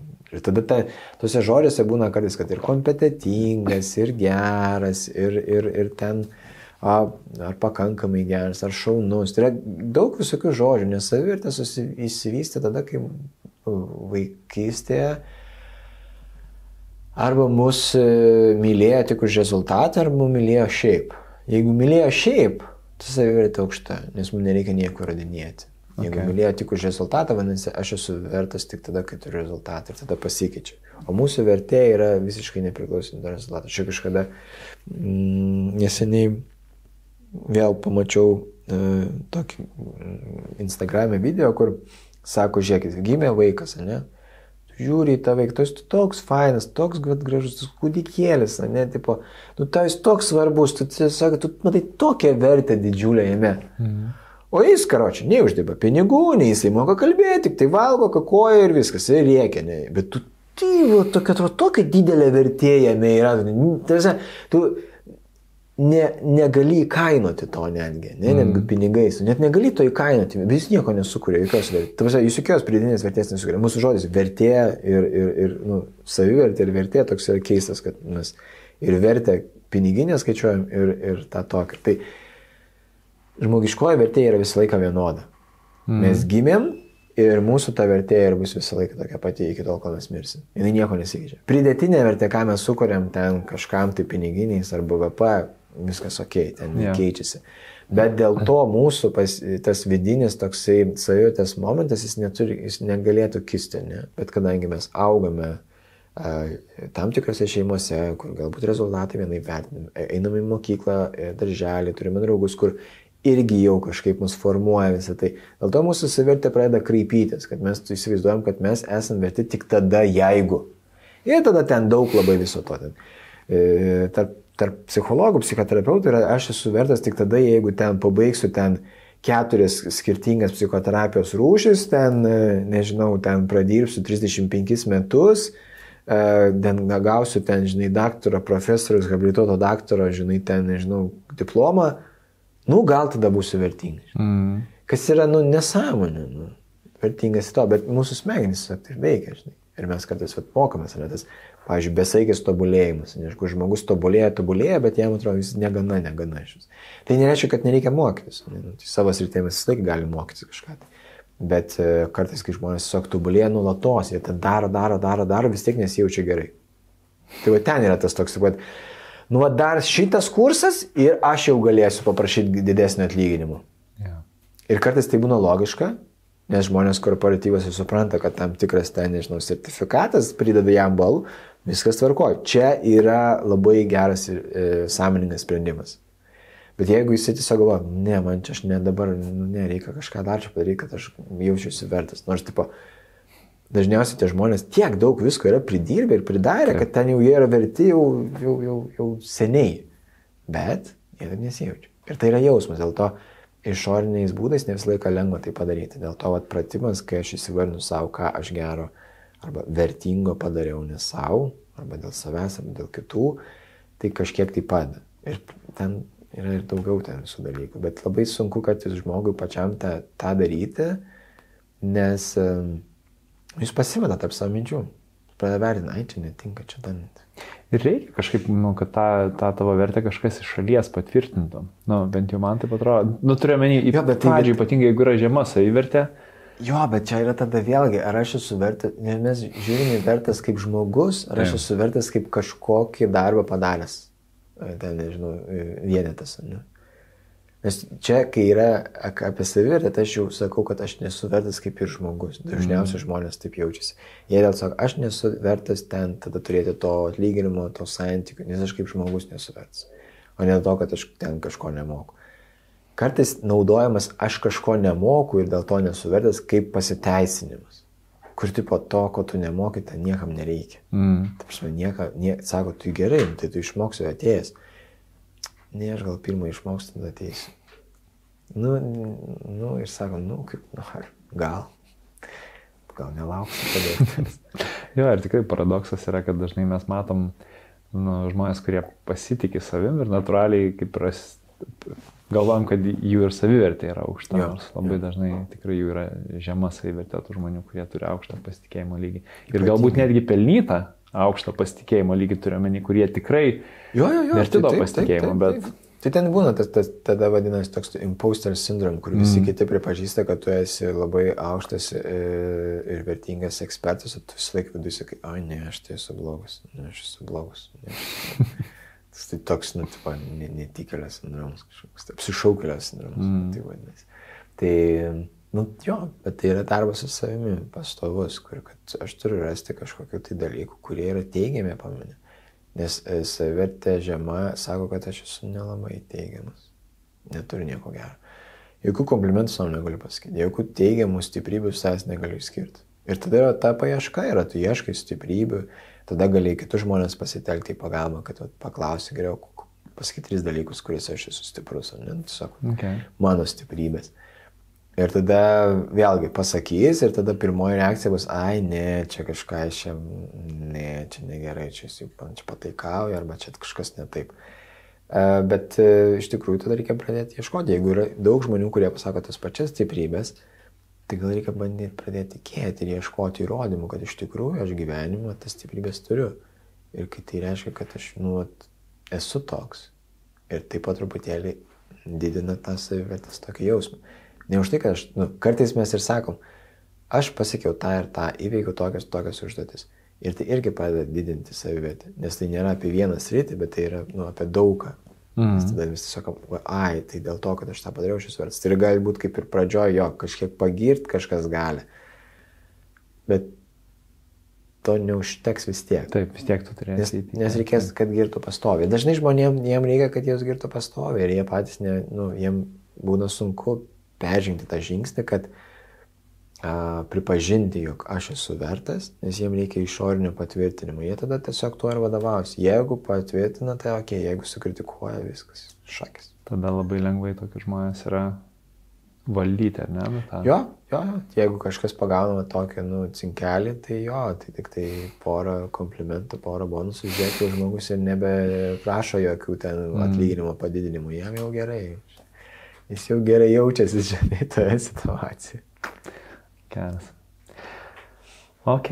Um, dabar aš turiu tau pabaigai tokių blitz klausimų, kur gali per daug neaiškinti, kodėl ir kaip. O, Bet rimtai? tiesiog atsakyti Gerai. į um, kas yra tie dalykai. Tai nėra tokie, kur ar, e, žinai, klausimai, kur taip ne, bet, e, bet tiesiog gali per daug ne, nesiplėsdamas, kad neužtruktumėm. Um, tai pirmas dalykas, tai noriu paklausti, kaip atrodo tavo va, rytas. Tu kalbėjai, kad turi tokią ryto rutiną, ne? tai mm. kaip atrodo tavo ryto rutina? Atsikeliu, nusiprausiu akis, važiuoju į darbą, pamedituoju ir prasideda darbas. Nu, kelintą valandą atsikeliu? Kai pasiseka, dažniausiai noriu atsikelti pusę septynių. Aha. Dažniausiai atsikeliu, taip kartais be 15-7, be 5-7, bet aš noriu išeiti dar prieš kamščius, kad man nereikėtų stovėti kamščius. Tai čia yra toks limitas, kad 7 arba 7.05 aš turėjau būti išėjęs iš ten. Mhm. Ir tada nuvažiuoju iki kabineto savo ir ten pamedituoju ir tada dažniausiai prasideda darbas. O kiek laiko meditacija maždaug trunka? 20 minučių. 20 minučių, ok. Nu, jeigu turiu daugiau noro ir daugiau laiko, tai dar e, 20 minučių, tada plus dar kokias dar ten, dar iki pusvalandžio gali prasidės. Mhm. Um, produktivumas, ar tu laikai save produktyviu? E, aš sakyčiau, kad kiti žmonės mane laiko produktyviu, bet aš tai nelaikau savęs produktyviu. Okay. Jeigu taip apibūdinti. Bet uh, iš to, ką jau esi atradęs, kokie būtų va, tokie trys top tipsai produktyvumo? Mm, e, Neoverthinkinti, tai reiškia, kad atsisėsti ir iš karto, kai kažką tau reikia padaryti ar sugalvoti, sės ant popieriaus, man yra popierius ir tušinukas, mhm. e, ir susirašyti, aš braižau kartais arba mind mapą tą vadinamą, arba tiesiog, nežinau, bullet points kažkokiais tais. Mind mapas man miškiai yra daugiau fantazijos duodantis brainstormai. Aš tiesiog surašau viską, ką žinau tuo tema, tai man iškart sukuria bazę ir tai man padeda produktivumui, nes aš jau žinau, ką statyti. Tai jo tas, nes, ir tai, nes čia yra situacijos, kur man reikia produktivumo, kitose situacijose man nereikia produktivumo, mhm. nes aš esu įstatytas. Pavyzdžiui, konsultacija vyksta nuo tos valandos iki tos valandos. Aš joje esu viskas. Aš negaliu pasirinkti, aš joje būsiu ar nebūsiu, joje esu. Ir Ir dar klausimas, ar jinai yra produktyvi, čia jau kitas dalykas, ten, žinai, ten yra kiti, kiti momentai. Žinai. Bet e, jeigu tą dalyką, tai jo. Ir, nu jo, ir fizinis aktyvumas, jeigu aš bent kažkiek tai turiu ten tos mankštos, man iškis suteikia didesnį energijos kiekį ir aš tada jaučiuosi, kad galiu įveikti tam tikrus challenges. Mm, čia tiesa. Ar būna, kad tau trūksta motivacijos? Ir ką darai? Tada? Jo, kiekvieną dieną. A ne? Kiekvieną dieną, ką darai? E, nieko. Nueinu mėgoti, atsikeliu ir vėl pradedu dieną iš to. Bet jeigu atsikeli ryte ir toks... O... Ne, dauguma dalykų tai yra dienos, tada, kai jie nėra struktūruota ir labai sudėtinga. Tasme, jeigu aš turiu konsultacijas, tai nu, aš, aš negaliu rinktis ten to. Aha. Nes aš tai pasidaręs, ne, kad aš negalėčiau to rinktis. Ir aš vis tiek man ten būsiu. Aš kitiem darbam galiu neturėti motivacijos, bet aš tada bus. Ir jeigu uh, kai neturiu motivacijos, tai tada kartais, jeigu pavyksta, bet ne visą laiką, kartais aš įlendu į atidėliojimą. Darau taip, kad aš įsisprendžiu ma mažiausius dalykus. Ne didžiausia valia, ne, mm -hmm. sako, nes aš neturiu motivacijos didžiausia valia visiškai. Bet aš e, pabandau sukurti dopamino kelią per e, įveikimą mažiausių tų dalykų ir išsibraukimų tų darbų iš savo mm sąrašo. Aš tai matau, oi, išsibraukiau, žiūrėk, šitos išsibraukiau. Nu, okei, okay, tai galiu toliau tada daryti. Galiu toliau varyti. Okay. Arba galiu atidėlioti, ne? Bet aš jau, jau turiu biškį dopamino, kad aš gavau jį už tai, kad padariau, aš galiu tada toliau daryti. Ir tas man pastumėjo man. Ar rašaisi tikslus? Ne. Tai. Nu, ten metų kažkokį didesnį tikslą. Nu, aš esu jas pasirašęs kažkada tai seniai, daugiau neberašau jų. Okay. Jie yra taip kažkur, tai ten užrašau knygutė kažkurioje, tai vienoje yra įrašyti. Jie.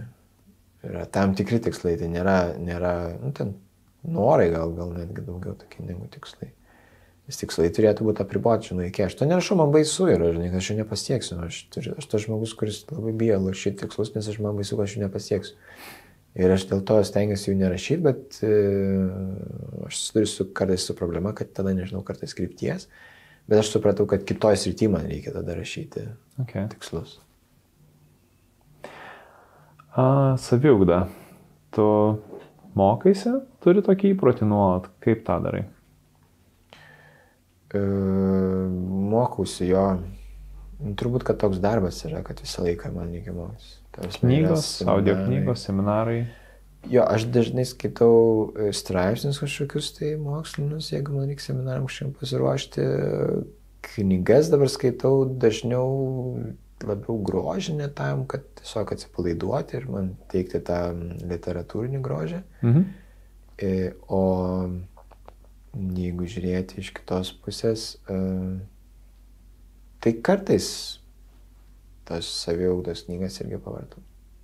Bet aš supratau, kad aš jas taip ne, nu, labai netikslingai skaitydavau. Aš darydavau, skaitydavau arba klausydavau jas ir nieko nepritaikydavau iš to. Tai taip pat tai kaip ir, nu, jokios naudos. Tai aš jeigu dabar, jeigu vėl prisėsiu, kada, tai tada jau kitaip iškai skaitysiu. Nu, sudėtingiau, tada ten darysiu nautus kažkokius, kad aš ir žiūrėsiu, ką aš iš karto gyvenime galiu pritaikyti, bet ir tą pasižymėsiu iš karto ir žiūrėsiu, kurioje vietoje tas, nes, nes aš jų tas tiek daug. Jos duoda kartais motivacijos tokios, tipo momentinės ir, mm. o, užsidegimas, o, jes, jes, jes.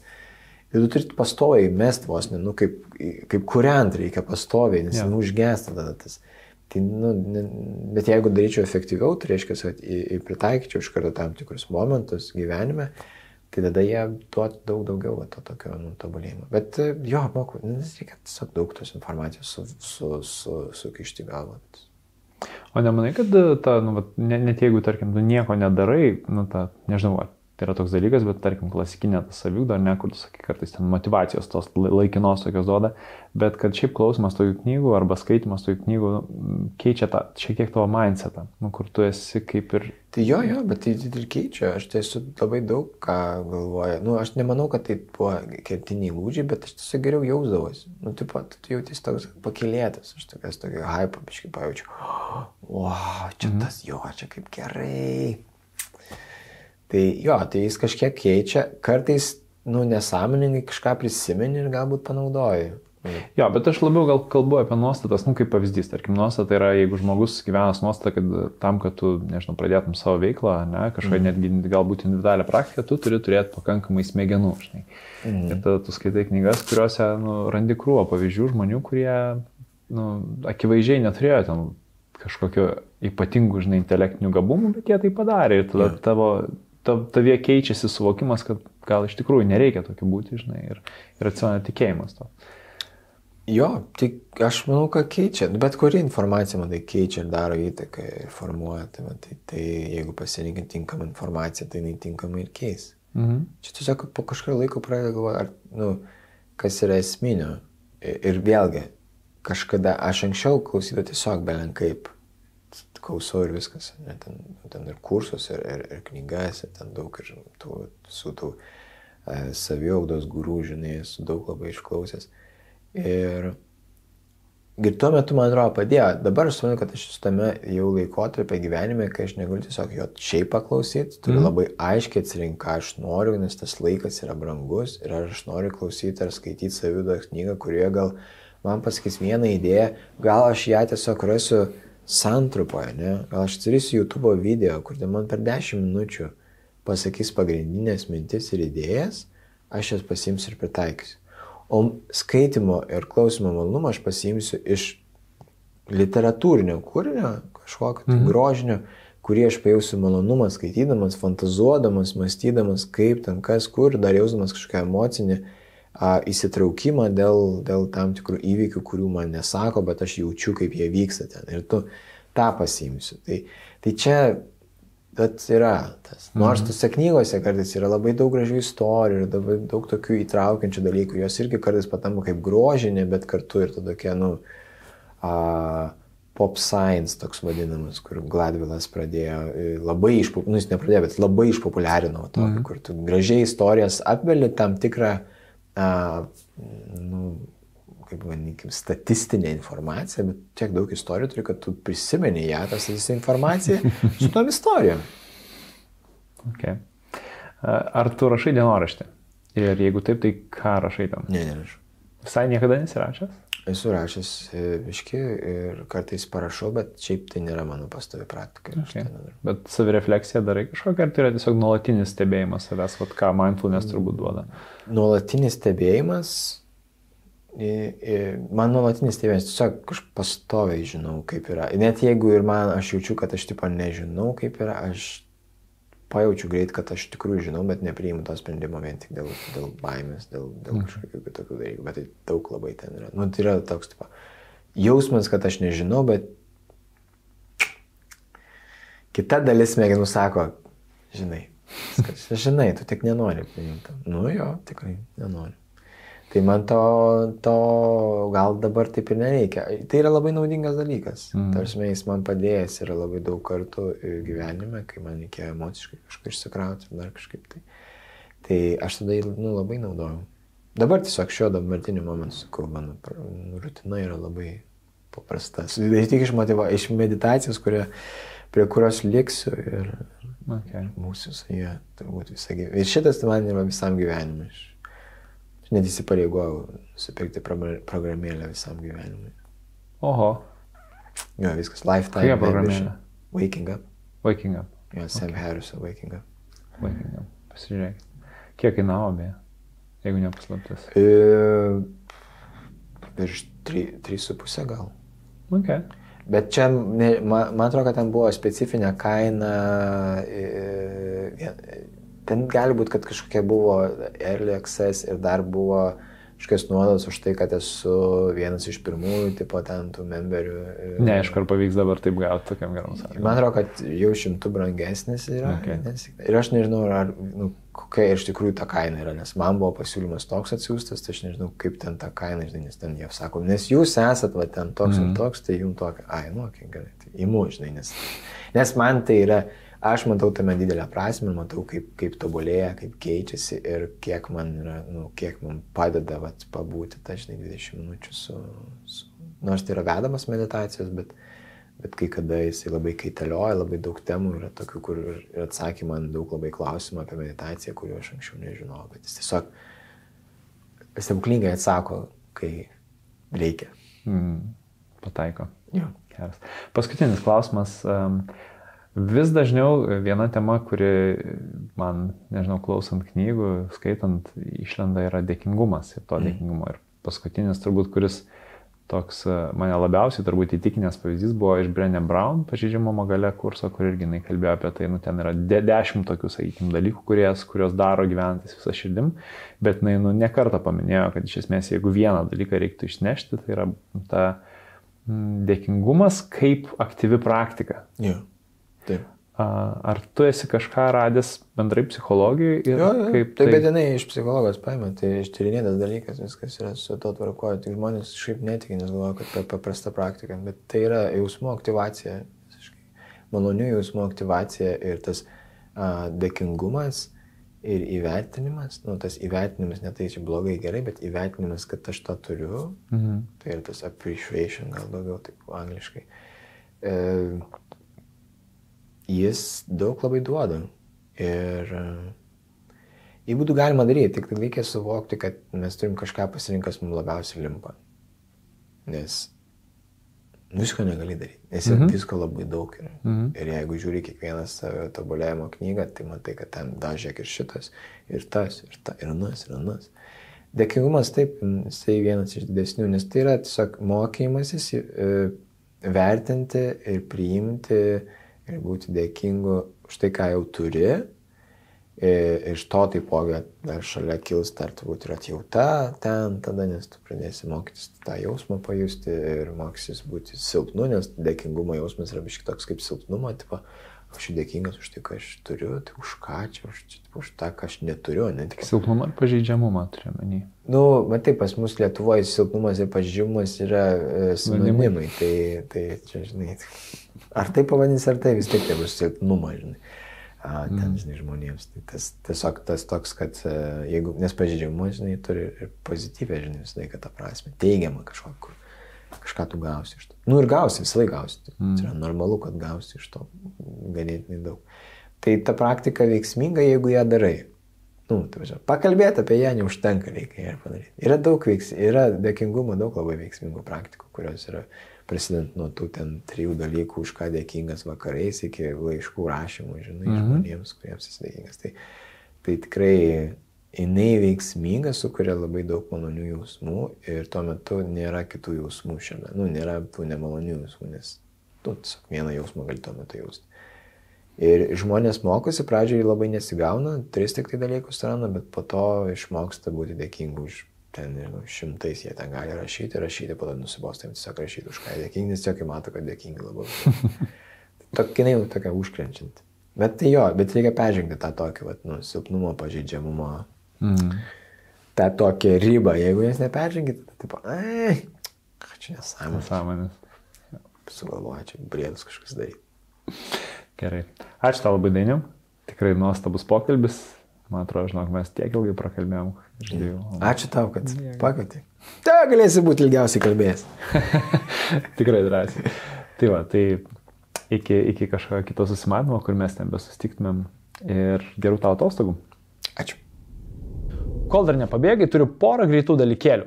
Pirma, jeigu nuspręsi pasidalinti šitą laidą savam rate, už ką būčiau be galo dėkingas, tai nepamiršk užtaginti ir mūsų sudainim, kad matytumėm visą tavo skleidžiamą meilę. Antras dalykas, jeigu dar neprenumeruoji laidos, tai kviečiu paspausti mygtuką subscribe, prenumeruoti ir varpelį, kad pamatytum visus naujai pasirodančius epizodus. Ir tai žinoma padės ir mums su laidos klaida, dėl to iš anksto noriu už tai tau padėkoti. Ir trečias dalykas, jeigu norėtum ir tu pradėti kažką savo, gal savo verslą, gal norėtum savo karjeroje kažkaip pasistumėti rimčiau, tai kviečiu užsiregistruoti į webinarą Karjera 2.0, kuriame pasikalbėsime apie tai, kokie įgūdžiai yra reikalingi pradant kažką savo, kažkokią individualią veiklą, galbūt savo verslą ir kaip tos įgūdžius ugdyti, net jeigu visiškai neturi tam laiko. Tai užėjai adresu iš naujo.lt ir užsiregistruok į webinarą karjera 2.0. Na, o aš jau atsisveikinu, susitiksim už dviejų savaičių. Negaliu apsakyti, kaip laukiu, kada galėsiu pasidalinti su tavim kitu epizodu, nes laidos viešne, su kuria kalbėsim, na, aš net nemaniau, kad man ją apskritai pavyks prisikalbinti į šią laidą, bet pavyko, nusifilmavom, tikrai laukia labai labai įdomi laida. Tai galiu tik tiek pasakyti, kad ši moteris e, tikriausiai visų Lietuvos moterų na, didžiausias įkvėpimo šaltinis, autoritetas ir greičiausiai nemažos dalies verslių vyrų.